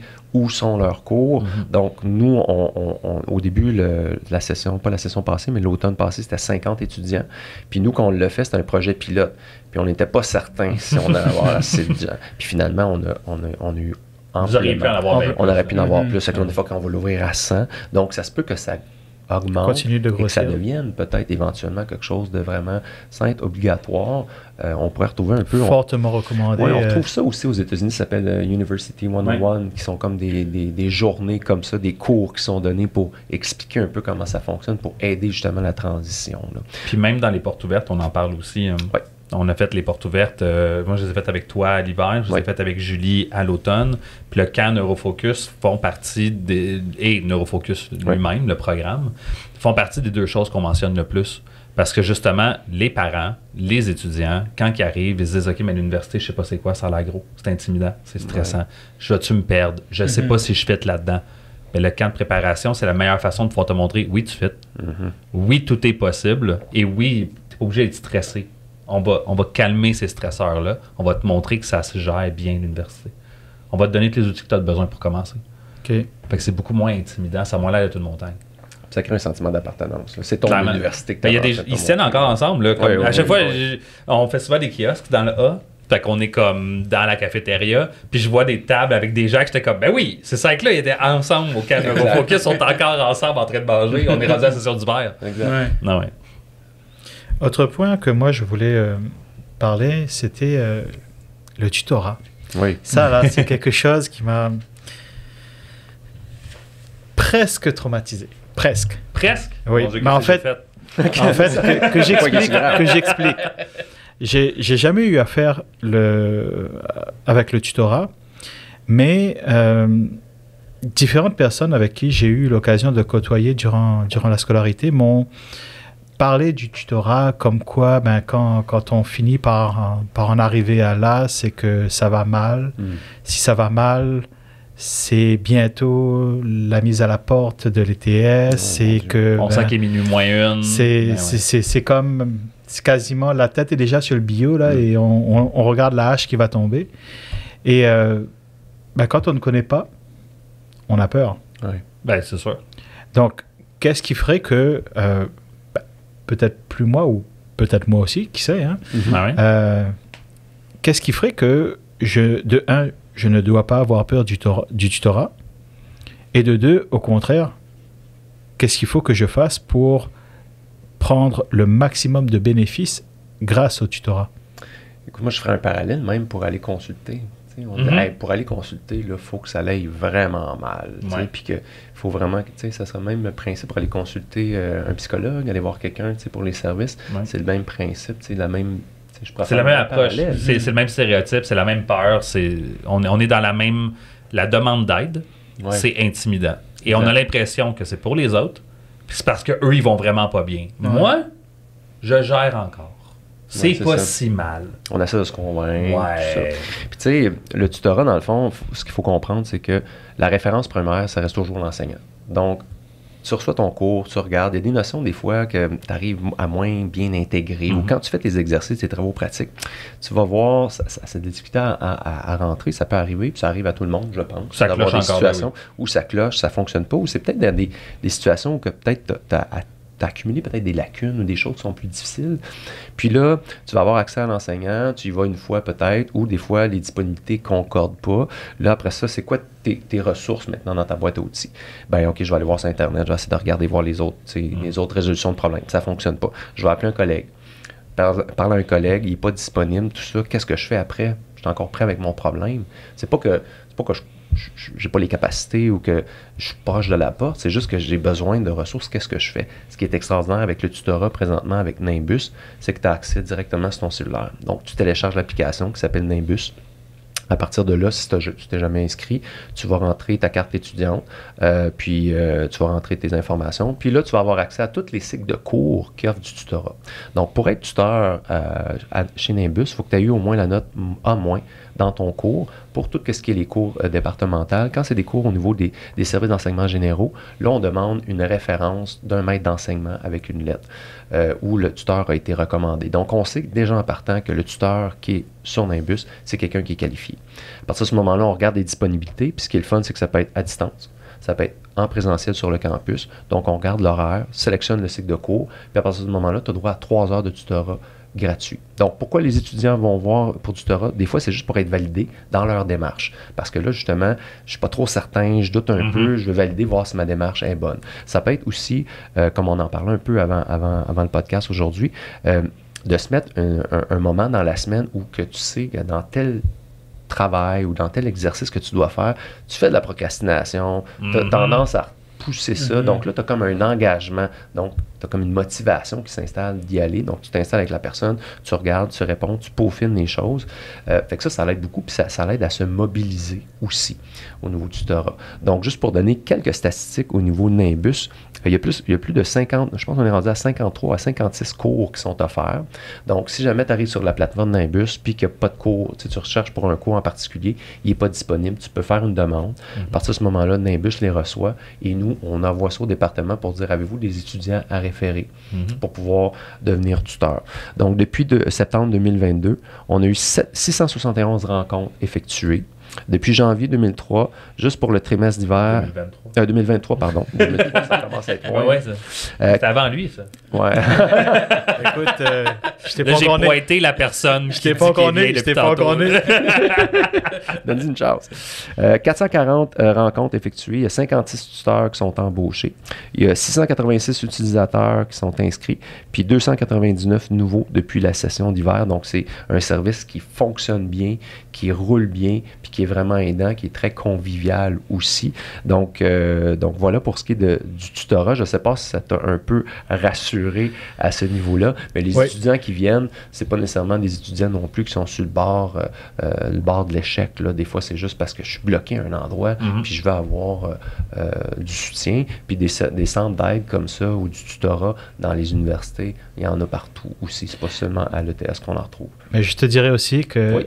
En lisant un petit peu justement sur, euh, sur le site euh, de, de l'ETS, qu'on parle justement des notes, euh, quand tu attends, tu Mhm. descends, Ouais. etc., etc., c'est vrai quand même que la manière dont c'est, dont c'est écrit, c'est c'est quand même épeurant. On, a, on, on, on voit plus la spirale qui nous amène à Ben oui. l'échec. Ben que, que de dire oui, il y a, il y a possiblement un problème, mais nous offrons des solutions. Mhm. Il n'y a pas, il y a pas cette, cette ouverture vers la solution pour ne pas arriver à là. C'est d'aller. Donc, je pense que le fait d'avoir. le puis je vais l'amener aux personnes qui ont fait euh, la, site web. mais, mais- mais le fait d'entendre, le fait d'entendre donc des étudiants qui, qui étaient en difficulté et qui, qui, qui l'ont perçu comme ça et qui me l'ont rapporté, Mhm. je suis allé voir sur le site et on dit ben voilà, euh, si tu descends à temps, ben tu, tu, tu vas être, euh, tu Ouais. vas arriver à temps et ainsi de suite. Peut-être que ça ne fait que conforter justement cette, cette image négative du, du tutorat, Tutorat. alors qu'en réalité, c'est un outil supplémentaire que vous apportez pour nous aider à, pour nous soutenir dans, dans la réussite. Ouais. Ben, peut-être que je vais pouvoir te donner un autre point de vue complètement différent, OK?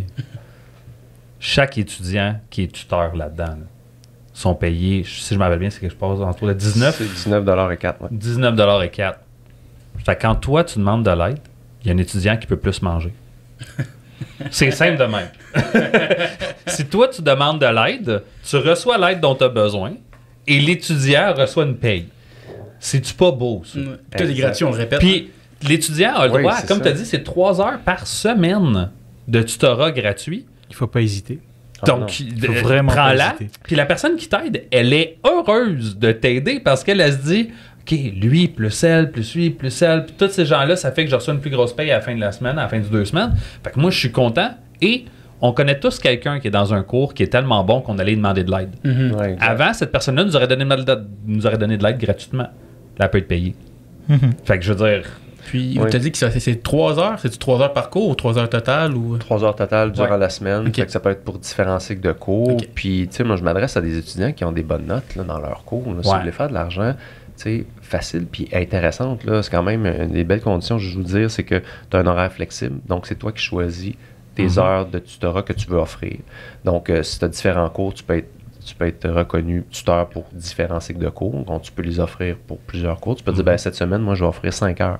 Tu les places en soirée, de journée ou euh, en après-midi. C'est comme tu choisis. Fin de semaine. Ça peut être, ouais, ça ça doit peut paraître être bien sur un CV aussi. aussi. là? Ça paraît bien sur un CV. Donc, tu mets, mettons, une semaine, puis c'est à la semaine. Donc, si, mettons, la semaine suivante, tu as des examens, tu as des choses à remettre, oh, je vais peut-être en faire moins. Tu diminues tes Mhm. heures. Donc, il y a une flexibilité à ce niveau-là.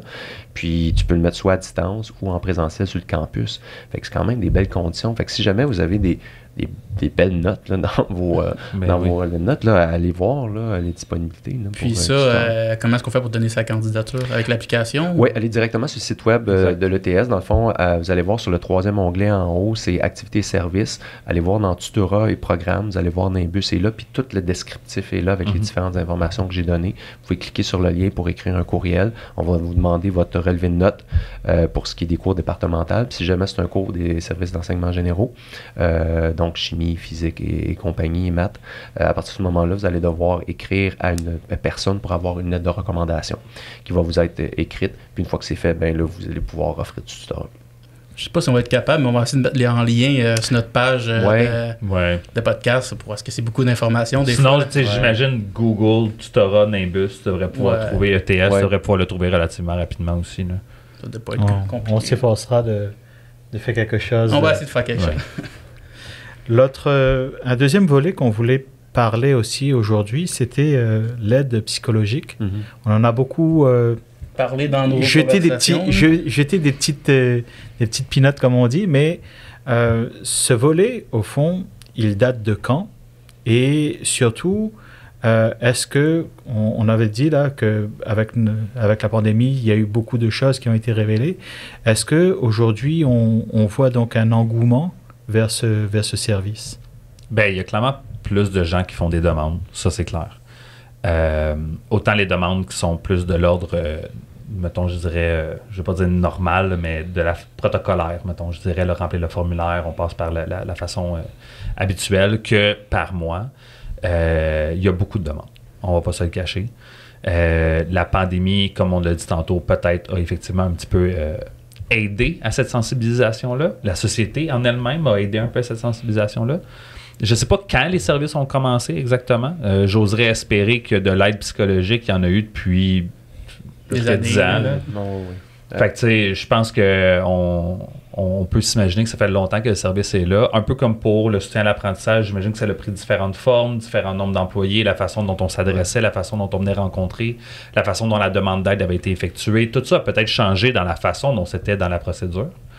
Euh, là, maintenant, juste le fait qu'on ait comme une, vers- une- une version plus formulaire, une version plus directe, déjà, ça fait déjà une grosse différence comparé à ce qu'il y avait avant. J'ai deux questions pour vous. La première, c'est est-ce que ça arrive, mettons, qu'un étudiant te rencontre puis dit peut-être que tu aurais besoin d'a- d'aller voir un psychologue, puis on dirait que ça, ça allume quand tu le dis ou que ou qu'il pensait pas demander, mais finalement, il finit par, par demander, parce que souvent, comme je dis, c'est pas parce que on sait, on sait pas qu'on va, qu'on va pas bien, c'est juste qu'on n'est pas capable ou qu'on sait pas à quel point qu'on va pas bien. Donc, Ouais. on s'imagine pas qu'on a besoin d'un psychologue, puis des fois, se faire dire, t'as besoin d'un psychologue, c'est quasiment comme euh, t'es un fucké dans la tête, mais c'est pas ça pantoute. Non. Mhm. Ben, une bonne partie de ma job, tu sais, on parlait tantôt des compétences que ça prenait, c'est de pouvoir normaliser certaines choses. Euh, à un moment donné, quand on va pas bien, que ce soit pour une rupture amoureuse, que ce soit parce que j'ai raté un cours, que ce soit parce que je dois lâcher l'école, puis je, je suis débordé, puis je me peux plus, puis je vois plus de bout. De- peu importe la raison pour laquelle est-ce que ça t'amènerait à dire, you know what, j'ai besoin d'aide. Mais quand tu finis dans mon bureau, on va utiliser la technique flashlight, qui est juste, on va essayer d'identifier Mhm. chacune des problématiques. Moi, ma job, après les avoir identifiées, c'est de dire, ben, voici les options qui s'offrent à toi. Voici ce que moi, je peux faire pour toi. Parce que moi, si je peux m'engager à t'aider, je vais m'engager à t'aider. Suite à ça, il y a plein de mes collègues, plein de départements, que ce soit l'aide financière, que ce soit le tutorat, que ce soit euh, Clenche ton étude, qu'on fait, de, qui est- ça a l'air vraiment niaiseux, là, mais on a monté cet atelier-là pour la mi-session. On le refait, euh, après les intros, on le refait à la fin de la session. Puis tout ça est venu de ben, les étudiants ont peut-être besoin qu'on leur propose une formule de travail qui les amènerait à travailler de façon efficace, autre que de penser magiquement qu'on va faire, ben oui, samedi, je vais passer 8 heures à étudier puis je vais être correct. puis on a amené Clanche ton étude justement de ça, d'étudiants qui disaient, mais je travaille, je travaille, je travaille, mais ça avance pas, je comprends pas. Puis à un moment donné, tu te dis, ben, il y a des techniques plus efficaces. Mais à ce moment-là, moi, ce que j'amènerais, je pourrais revenir sur Clanche ton étude tantôt. On va en parler de ça. oui, c'est ça, on va en reparler. Ouais. Mais euh, ça va être de dire ce que tu as besoin, c'est ça. Pour moi, le psychologue, euh, ou mettons, je dirais l'aide psychologique, parce qu'on a plusieurs corps de travail différents, mais au bout de la ligne, l'aide qui est apportée est, la même. Euh, l'aide psychologique, c'est un des outils disponibles à ta portée. Mon travail, c'est de normaliser autant le soutien à l'apprentissage que l'aide financière, que le tutorat, que l'accompagnement dans l'aide psychologique, que l'accompagnement que moi je peux faire. On s'en fout. C'est tous des outils. Tu choisis ce que tu veux. La majorité du temps, je te dirais, si l'étudiant me dit non, mais j'ai encore besoin d'aide, j'aime la façon dont on travaille en ce moment, la façon dont on parle, je peux-tu juste travailler avec toi? Je dis, Ben oui, on va faire ça. Des fois, c'est assez. D'autres fois, après quelques rencontres, c'est moi, dans mon souci professionnel, dans mon regard clinique, de dire ça fait trois fois qu'on se rencontre. Puis je pense que honnêtement, on a fait des belles avancées, toi-même tu le dis, mais je pense vraiment que tu aurais besoin d'un aide un petit peu plus approfondi. Je te suggère fortement d'aller voir un de mes collègues. Tu si tu veux, on va remplir le formulaire Mhm. ensemble. On va le Ouais. faire. Tu vas l'accompagner à monter le, Ouais. la marche. Ouais.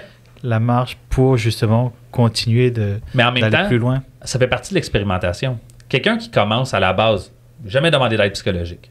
Ça vient avec des préjugés, ça vient avec des idées préconçues. On se dit c'est pas pour moi, mais j'ai juste besoin d'un peu d'aide. Mhm. On parle, on discute. Tu y crois toujours pas à l'aide psychologique, autre que qu'est-ce que moi je te propose, parce que ça a l'air qu'on chill, on discute.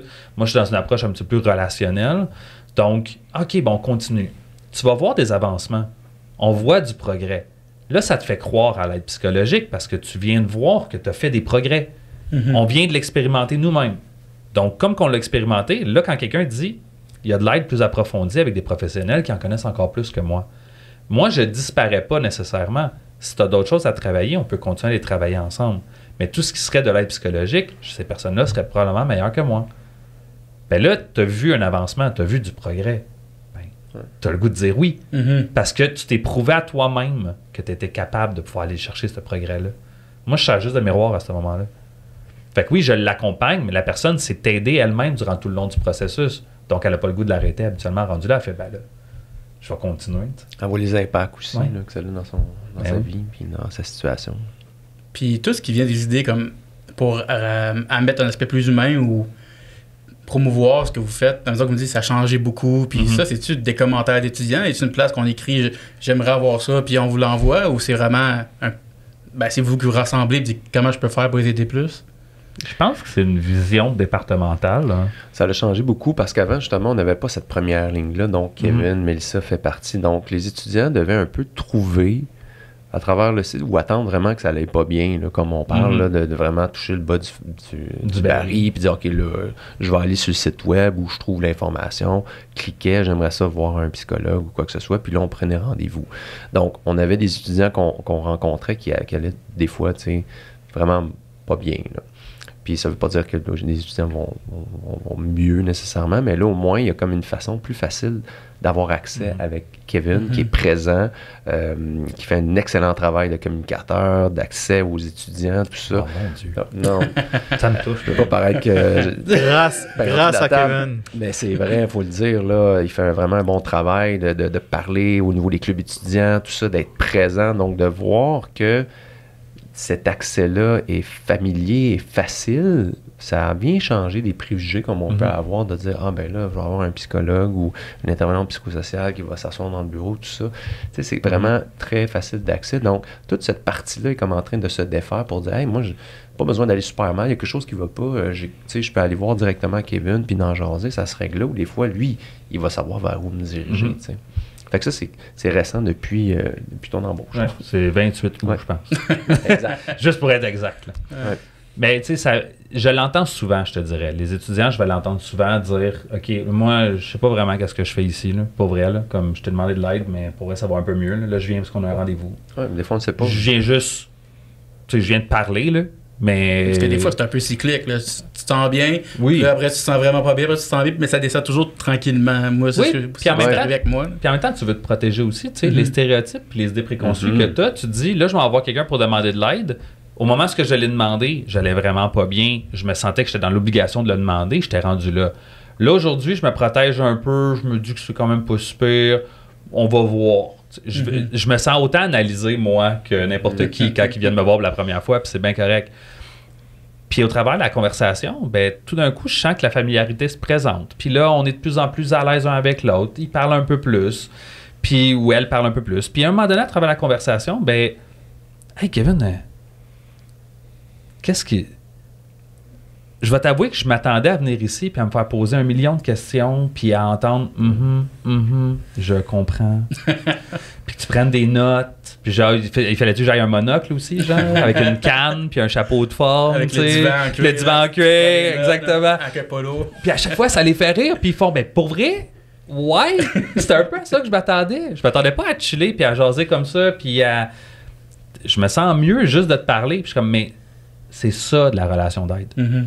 Oui, il y a le divan en cuir. Oui, il y a le Mhm, je comprends. Tout ça existe et je vais le faire une fois de temps en temps. là. Mais, euh, bravo. Euh, Je comprends. ah! On se complète, on se complète. Je Ah te oui. dis, génie électrique, c'est pas pour rien. hein. J'adore ça, j'adore ça. Il y a l'électricité qui part entre nous deux. C'est un bel environnement de travail. Là, vous le voyez pas, sauf à la caméra, mais j'ai pointé l'intervenant fantôme, l'étudiant, en environnement. Um, ouais, c'est ça. Fait que l'idée, c'est aussi de démystifier un peu ça pour pouvoir dire, mais il y a plein de relations d'aide qui existent, il y a plein de façons. Et mon travail, c'est de rendre ça confortable, humain, agréable, disponible. Un coup, c'est fait, puis après ça, le travail est à toi, puis à nous. On fait ça ensemble. Puis il faut préciser aussi que nos psychologues et intervenants psychosociaux et psychoéducatrices dans le service n'ont pas des euh, collets roulés, Non. souvent cuir. Je confirme. Sont très, non, c'est ça, sont super accessibles, là, faciles d'accès. On a le même un peu vibe. C'est sûr que Kevin, lui, est beaucoup plus terrain. Puis c'est ça sa job, puis il fait extrêmement bien. Puis quand on, on va dans le bureau, ben là, on va aller plus sur des choses plus pointues, avec euh, des choses peut-être à, travailler euh, ouais, de façon plus précise, avec Mhm. des techniques différentes, sur un, un- un suivi aussi qui peut s'étaler jusqu'à sept rencontres aussi Mhm. euh, durant, durant la session, euh, durant l'année. Ouais. Dans le fond, les étudiants ont sept rencontres en dedans d'un an. Évidemment, que rendu à la septième rencontre, c'est pas nécessairement comme Salut, bye, c'est fini. Mais euh, c'est à l'évaluation de la du professionnel qui te Mhm. rend compte de pouvoir évaluer. Puis c'est toujours sur une base volontaire. Fait que l'étudiant peut dire après 3-4 rencontres Ouais. Merci, je, Mhm. je me bon. sens mieux, c'est bon ça, pour exact. moi. Puis après ça, ben, il te restera 3-4 autres rencontres si tu as besoin plus tard. Fait que le fait que tu aies toujours cette capacité-là à pouvoir dire j'ai atteint ce que je voulais ou j'ai pas encore atteint ce que je voulais, la communication avec ton professionnel est super important. De dire ben moi dans la relation d'aide, ce que j'espère avoir, c'est un peu de ça. Ben donne-nous, donne-nous ce que toi. À la limite, je préfère que tu me donnes tous tes stéréotypes et tes idées préconçues, puis je vais toutes pouvoir les défaire les unes après les autres. Il n'y en aura pas de problème. Exact. Puis, sinon, quand on parle de cette rencontre, je peux mettre une précision, c'est avec des professionnels. Des services comme quoi environ Le psychologue, si on comprend. Oui. Ah non, c'est, ça, c'est pour le service C'est psychologique. vraiment Ok. le service d'aide psychologique. Tout ensemble, c'est une bulle. C'est sept rencontres. Moi, je compte pas dans ces sept rencontres-là parce que moi, ça peut être de l'aide plus ponctuelle. Mhm. Fait que je donne souvent l'exemple de dire si toi, tu veux te partir un podcast on the side, puis tu as besoin d'aide, puis tu te cherches des coups de main, tu veux organiser tes trucs, tu comme pas trop sûr, puis là, tu travailles entre tes études, ta job, le projet, tu as juste besoin de t'organiser. Service d'aide à l'apprentissage, tu vas pouvoir aller les voir, ils vont te donner un certain soutien. Après ça, tu te dis j'aimerais ça pouvoir me lancer dans un concours de podcast, j'ai aucune idée comment ça marche. Tu peux venir me voir moi, on va établir ce plan-là ensemble, on va checker comment est-ce que ça fonctionne, c'est quoi les prérequis. Puis l'aide psychologique, si tu en reçois, c'est un aide complètement on the side Mhm. à côté. Tu peux avoir le buffet de services au complet, puis toutes les utiliser, tant aussi longtemps que euh, c'est bien chacun dans leur section. Parce que c'est un suivi psychologique avec une de mes collègues, je vais pas travailler ça. Mhm. Si tu travailles l'estime de soi avec une d'entre elles, par exemple, je vais pas aller travailler l'estime de soi avec toi. Parce que ça serait complètement irresponsable. Mhm. Au même principe que si tu travailles l'organisation de ton agenda avec Bruno, puis que tu viens me voir pour travailler l'organisation de ton agenda, je vais être comme bête. Prends Tu un rendez-vous avec Bruno, tu, Tu le fais déjà, déjà, avec lui. Ouais, fait tu déjà. fais déjà. On veut pas, tu veux, ben c'est ça, Pas on veut pas, puis, ben c'est ça, tu veux pas dédoubler les interventions non plus. Puis je ne suis pas au courant de ce qui se fait avec Bruno, je ne suis pas au courant de ce qui se fait avec mes collègues en aide psychologique. Ça serait encore une fois irresponsable de ma part de me mettre le Mhm. nez là-dedans. Fait qu'on a chacun nos canaux, mais on peut quand même travailler ensemble pour pouvoir vous aider. Ça va être à vous de choisir vos, vos services. Mhm. Ouais. Par contre, euh, tu, toi, tu es sur le terrain, tu as donc l'occasion de, de- d'être directement avec la, la clientèle. Euh, en règle générale, l'homme est beaucoup plus réservé par rapport à. Il y a des a priori qui, qui, qui font qu'il y a des préjugés qui font qu'on a du mal à passer au travers donc, de- du volet psychologique. Mhm. Euh, c'est plus difficile généralement pour les, pour les hommes que pour les femmes. C'est une, c'est une réalité euh, dans un autre, dans, à un autre niveau. Mais à l'ETS, est-ce que c'est aussi une, une réalité où tu vois toi-même qu'il y a autant de, de l'agente masculine que l'agente féminine qui... Ben, faut comprendre que l'ETS, c'est 80% d'hommes, à peu près Mhm. 20% de femmes. Là, je fais des chiffrons. Là. Mhm. Euh, fait qu'automatiquement, évidemment, que je vois plus d'hommes que de femmes. Euh, par contre, je dois dire que les, les gars à l'ETS sont vraiment beaucoup plus ouverts que ce qu'on pourrait penser. On a beaucoup plus de, d'hommes qui sont euh, des artistes, des, gens qui sont ouverts, qui ont le goût de parler de leurs émotions, qui ont le goût de travailler sur eux. Euh, j'avais monté avec euh, ma collègue stagiaire en sexologie un groupe masculinité saine, masculinité toxique, où est-ce qu'on pouvait partager, découvrir, étudier, discuter de tout ce qui est ce sujet-là et de se développer à travers ça. Tout ce qui est de l'ouverture, de la diversification sexuelle, de l'orientation, du genre. Tout ça aussi est un gros travail à faire. Fait que c'est difficile de genrer nécessairement comme juste femme plus moins, Oui, homme oui. plus moins. Et on, il faut, faut plus nuancer. Mais je dirais que l'image que l'on a de l'homme qui a plus de difficultés à se, à se mettre ses trips à la table puis à parler, ça peut être vrai, mais je dirais plus que ça dépend de la façon. C'est dans l'approche. C'est pas qu'il y a plus de difficultés, c'est dans l'approche. Si je te dis, viens dans mon bureau, parle-moi de tes problèmes, c'est peut-être pas la meilleure approche. Mhm. Par contre, si je te dis, veux-tu qu'on aille prendre une marche dehors, veux-tu qu'on aille jouer au volleyball, veux-tu qu'on aille au pub, ah, là, tout d'un coup, on va avoir plus envie de se parler. Pourquoi? Parce qu'on n'est pas là juste pour ça. Mhm. Et ça a totalement du sens. C'est on- c'est pas quelque chose qu'on est nécessairement euh, entraîné à vouloir développer, c'est de dire, quand j'ai des problèmes, je vais aller parler. Mhm. Ben oui, tu peux bien me le dire, mais si j'ai jamais pris cette habitude-là, même entre gars, on le prend pas nécessairement, cette habitude-là. Mhm. Ben pourquoi est-ce que tout d'un coup, magiquement, on serait à l'aise de le faire, tu sais? Mhm. Alors que peut-être que pour la gente féminine, ça peut être un petit peu plus facile de pouvoir parler de certaines choses, mais ils ont des enjeux. Et c'est pas. Encore une fois, l'approche là aussi est très importante. C'est. Je me compte chanceux parce qu'à l'ETS, je reçois beaucoup de confiance de, de, de- de tout et partout. Fait que je me compte vraiment chanceux parce que je suis sollicité de, de par tous les genres, donc euh, je, je touche du bois, tant mieux. Merci tout le monde. Mais je dirais qu'on est chanceux que justement ce- ces, ces préjugés, ces préjugés ont été dépassés par, euh, par les, les- les étudiants de l'ETS, que, qu'on ne retrouve peut-être pas dans la vie de tous les jours. Parce qu'en règle générale, euh, c'est, c'est quand même plus difficile à un homme de, de- d'y aller. Là.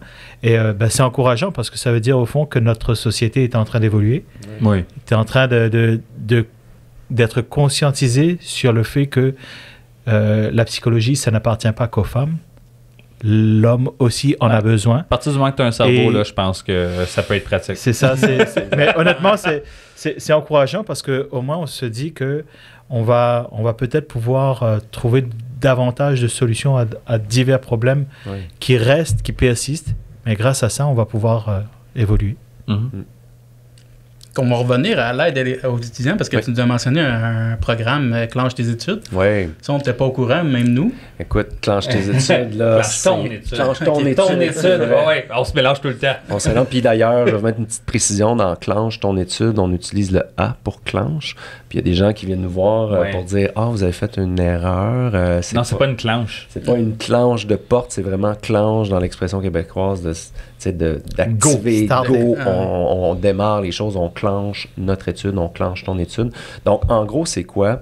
C'est que durant les périodes d'études, je sais pas si vous êtes comme ça, c'est difficile des fois de démarrer. Euh, on dit, ah, mets ça dans mon horaire, là, un petit deux heures. Quelque part demain.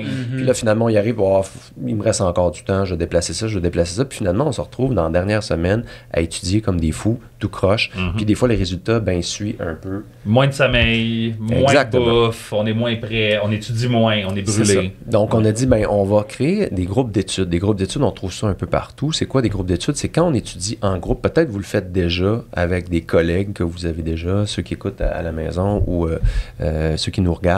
Euh, on va se regrouper ensemble pour étudier. Souvent, le groupe d'études, c'est très bénéfique. Pourquoi? Parce que là, on doit expliquer des choses à l'autre. On doit se faire expliquer. On peut, on peut se poser des questions, des numéros quand c'est bien fait. C'est une étude qui est hyper efficace. Donc, C'est un rendez-vous en même temps. c'est un rendez-vous en même J'ai temps. pas le choix d'y aller. Tu m'as an. demandé si tu voulais qu'on étudie ensemble, fait que j'ai pas le choix d'y aller. C'est un engagement. Exact. On doit être là, on doit être présent. Si on n'est pas là, on se sent mal parce que là, on avait réservé, les autres comptent sur nous. La culpabilité est un très bon motivateur. Ouais, ce qu'on s'est dit, c'est que là, on a commencé un projet pilote, on a décidé de faire ça durant la période des intras. Donc, ce qu'on a fait, c'est que la maison des étudiants, on s'installe, moi, Kevin, ma collègue Julie, euh, pour pouvoir faire un peu une supervision de la séance d'études. On se base sur la technique Pomodoro, que tu as déjà sûrement entendu parler ou que les gens ont déjà entendu parler.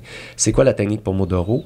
Euh, c'est qu'on a évalué que le temps de focus, de capacité de concentration sur une tâche soutenue pour les neurotypiques est environ de 25 minutes. Ça peut varier, des fois 20 minutes jusqu'à 30 minutes de concentration. Après ça, le cerveau, de façon naturelle, va chercher à regarder par la fenêtre, à chercher à aller ailleurs pour se Instagram, relâcher. TikTok. Exactement.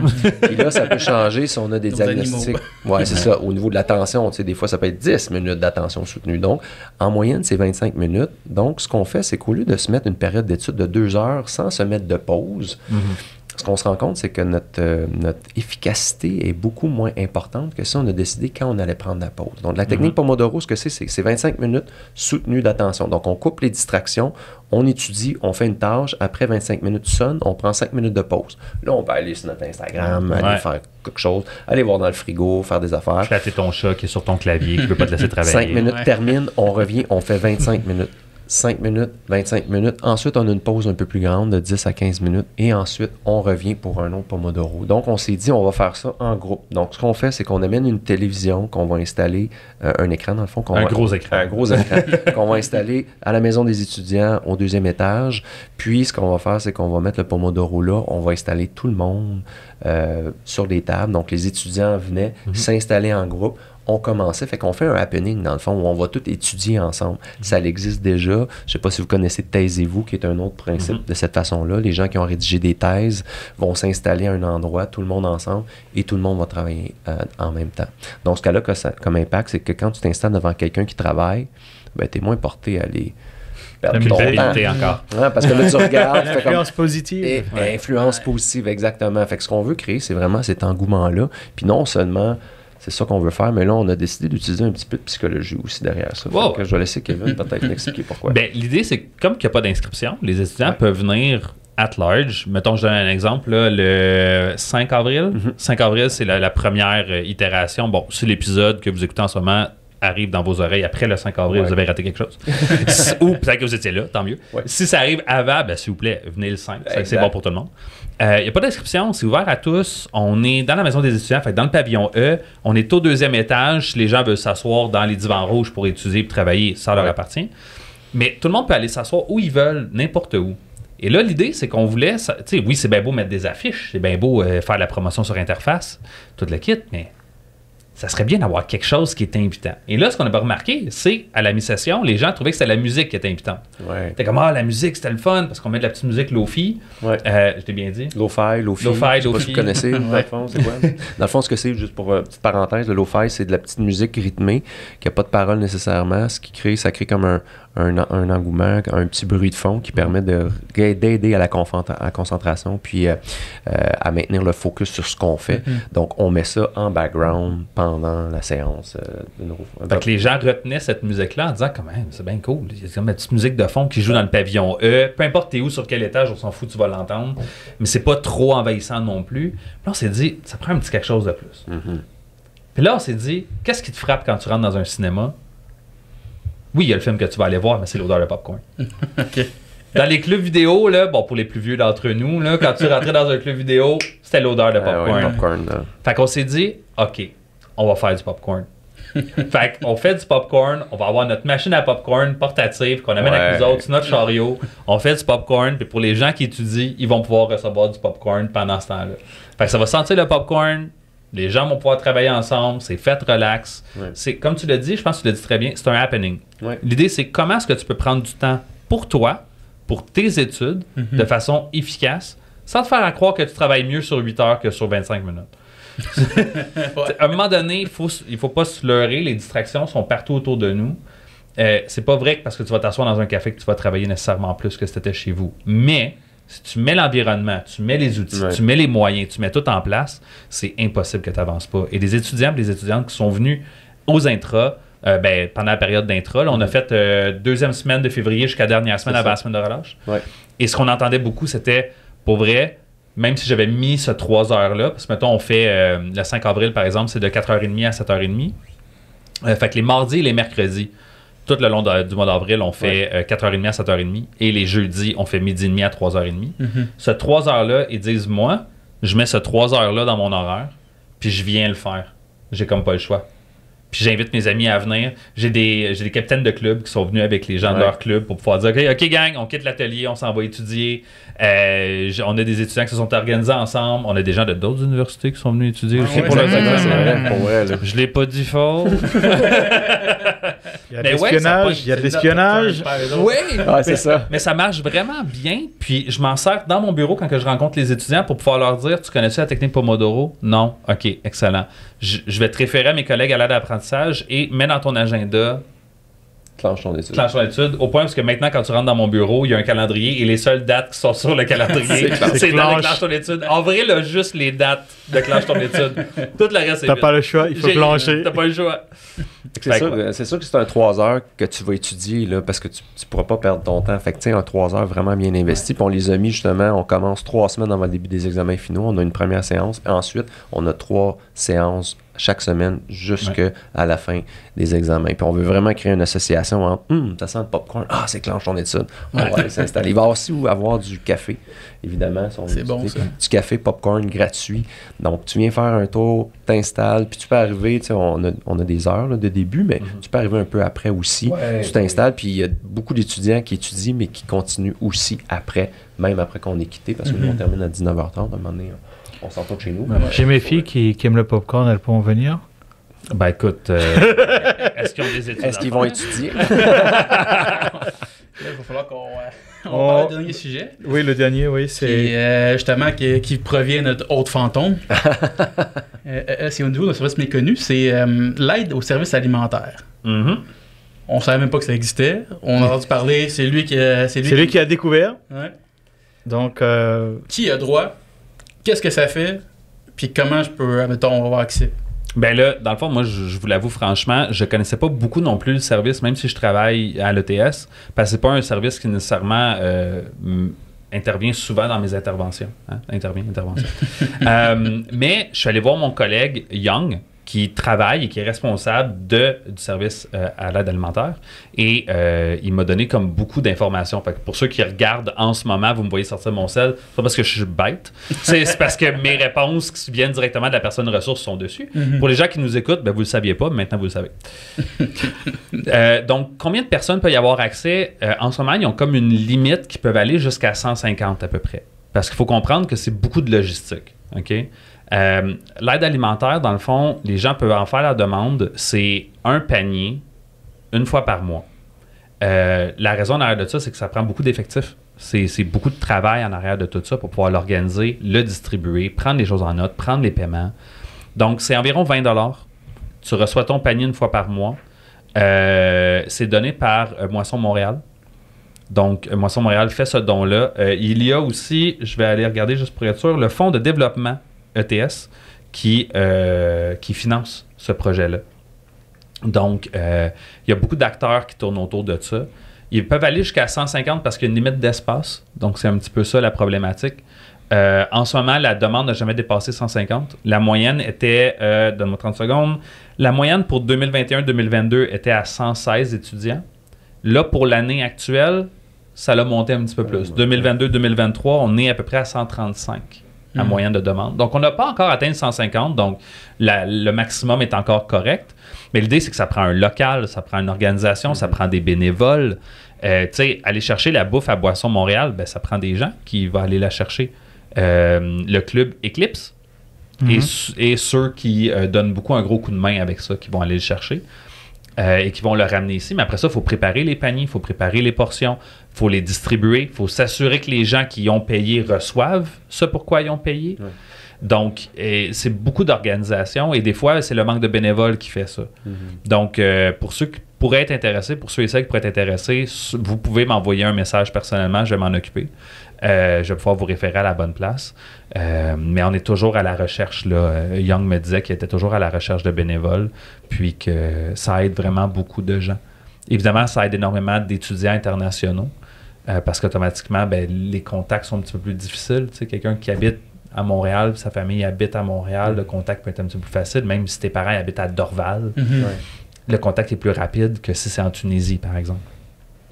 Euh, donc, ouais, c'est un petit peu ça. Mais n'importe qui peut y avoir accès, peut s'inscrire. Euh, je pense qu'il doit y avoir des petites conditions, là, mais euh, tout, tout peut être rempli. là. On s'entend, eh, excuse-moi, mais on s'entend que là, avec la situation dans laquelle euh, nous sommes depuis un an, avec la montée des prix, Mhm. euh, l'alimentation qui, qui augmente, etc., euh, le fait là que les étudiants vont découvrir, parce que Ben oui, C'est quelque chose- c'est quelque chose qui, n'était peut-être pas suffisamment publicisé. Euh, L'objectif, c'est justement de, de- de dire à ces personnes que ben il y a ce, ce service qui est offert Mhm. par l'ETS et, et par, euh, par vous, mais il faut s'attendre à ce que si, si ça prend de l'engouement, il vous faudra aussi de l'aide, de l'aide de la part de- de- des étudiants pour... de, euh, ouais, de beaucoup de gens. donc, euh, donc c'est ça, c'est qu'au fond, autant on, on pourrait dire aux gens n'hésitez pas à, à demander cette aide, autant on pourrait dire n'hésitez pas à proposer votre aide. Ouais. Aussi, ouais, effectivement. Ça, aidera, tout le monde sera aidé dans, dans un cette des conseils que je donne beaucoup là, quand j'ai des étudiants qui viennent me parler et qui me disent Ah, ben, j'aimerais ça pouvoir rencontrer plus de gens, mais je sais pas aller dans les clubs, je, je suis pas quelqu'un de party. Je leur dis Il y a plein de moments de bénévolat ou de paiement. Mettons les portes ouvertes, par exemple, c'est un bon Mhm. exemple. Tu vas rencontrer plein de monde. Va là. Puis ce qui est plaisant avec l'aide alimentaire, c'est que tu rencontres des gens qui sont heureux de venir Ah que tu aides, que tu vas créer des liens très rapidement parce que c'est très humain. Il n'y a pas plus humain qu'une rencontre de quelqu'un qui dit Salut, je viens chercher mon panier, nan, je viens chercher ma bouffe. Puis toi, tu fais Ok, c'est quoi ton nom Parfait. Ah, ok, hey, enchanté, allô. Puis tu le vois mois après mois ou tu la vois mois après mois.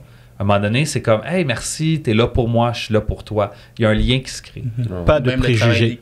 Pas de Pas préjugés. de zéro. Même le travail d'équipe que tu fais quand, quand, quand tu fais des bonnes bénévolats, j'en ai fait une couple de fois, c'est que le monde sont là pour aider. Ouais. Et quand tu vois que tu n'es pas tout seul à vouloir aider, ça te fait déjà un lien. Exact. Puis Ah oui. c'est- c'est c'est une connexion quasiment instantanée. Puis mm, à force de le faire, ben, tu vas connaître de plus en plus le monde. Puis tout le monde se connaît dans, dans cette situation. C'est Mhm. les mêmes mondes qui reviennent souvent. Mhm. Donc, tu te crées, bon, un, tu te crées un groupe d'amis qui, euh, qui donne, qui donne de, de soi-même. Fait que ça, Puis, Ça- puis oubliez pas que durant la période universitaire, on est en train de se créer aussi son réseau qu'on va retrouver aussi sur le marché du travail Ouais. après. C'est des Mhm. gens qu'on va côtoyer, qu'on va revoir sur le marché du travail, qu'on va se rappeler des souvenirs. Vous allez être à travailler dans un travail ou en conjointement avec d'autres personnes dans d'autres types d'industries, vous allez les revoir, ces gens-là. Donc, euh, donc c'est des belles façons de, de- de créer des liens, de, de- de faire quelque chose aussi de bien là, quand on revient puis on fait Ah, j'ai vraiment aidé, j'ai contribué. Moi, je la vois, la, la banque alimentaire, c'est euh, au pavillon E. Euh, ils s'installent en ligne. Il y a une salle qui est juste réservée à côté des services à la vie Ouais. étudiante. Euh, puis, euh, écoutez, là, les, les bananes, les le canage qu'on reçoit, les sacs, tout ça, c'est beaucoup de travail, mais c'est un travail qui est très valorisant. Mhm. Euh, donc, on invite vraiment les étudiants qui veulent participer à s'impliquer, à venir donner un coup de main. Puis vraiment, vous allez vous sentir vraiment bien. là. C'est une belle paye, là, une paye euh, au niveau euh, Ah ouais. émotionnel, sentiment d'avoir accompli quelque chose de bien. Mais sur ça, euh, Kevin, Bruno, merci. beaucoup d'avoir été là aujourd'hui. Puis vous étiez vraiment fantastique pour le podcast. Je t'en remercie à toi aussi, Fred. Merci beaucoup. Merci, euh, Eh ben, euh, merci, merci. à vous autres, les gars. J'espère que vous avez apprécié euh, le podcast à la maison. Moi, je dirais juste quelque chose euh, à l'ensemble de- des personnes qui nous écoutent ou qui nous regardent. C'est n'hésitez pas Mm. ils sont là pour vous soutenir. Ah, C'est c'est très beau, bien, ça. Vraiment. Merci, Merci. au revoir. Merci, les gars. Merci.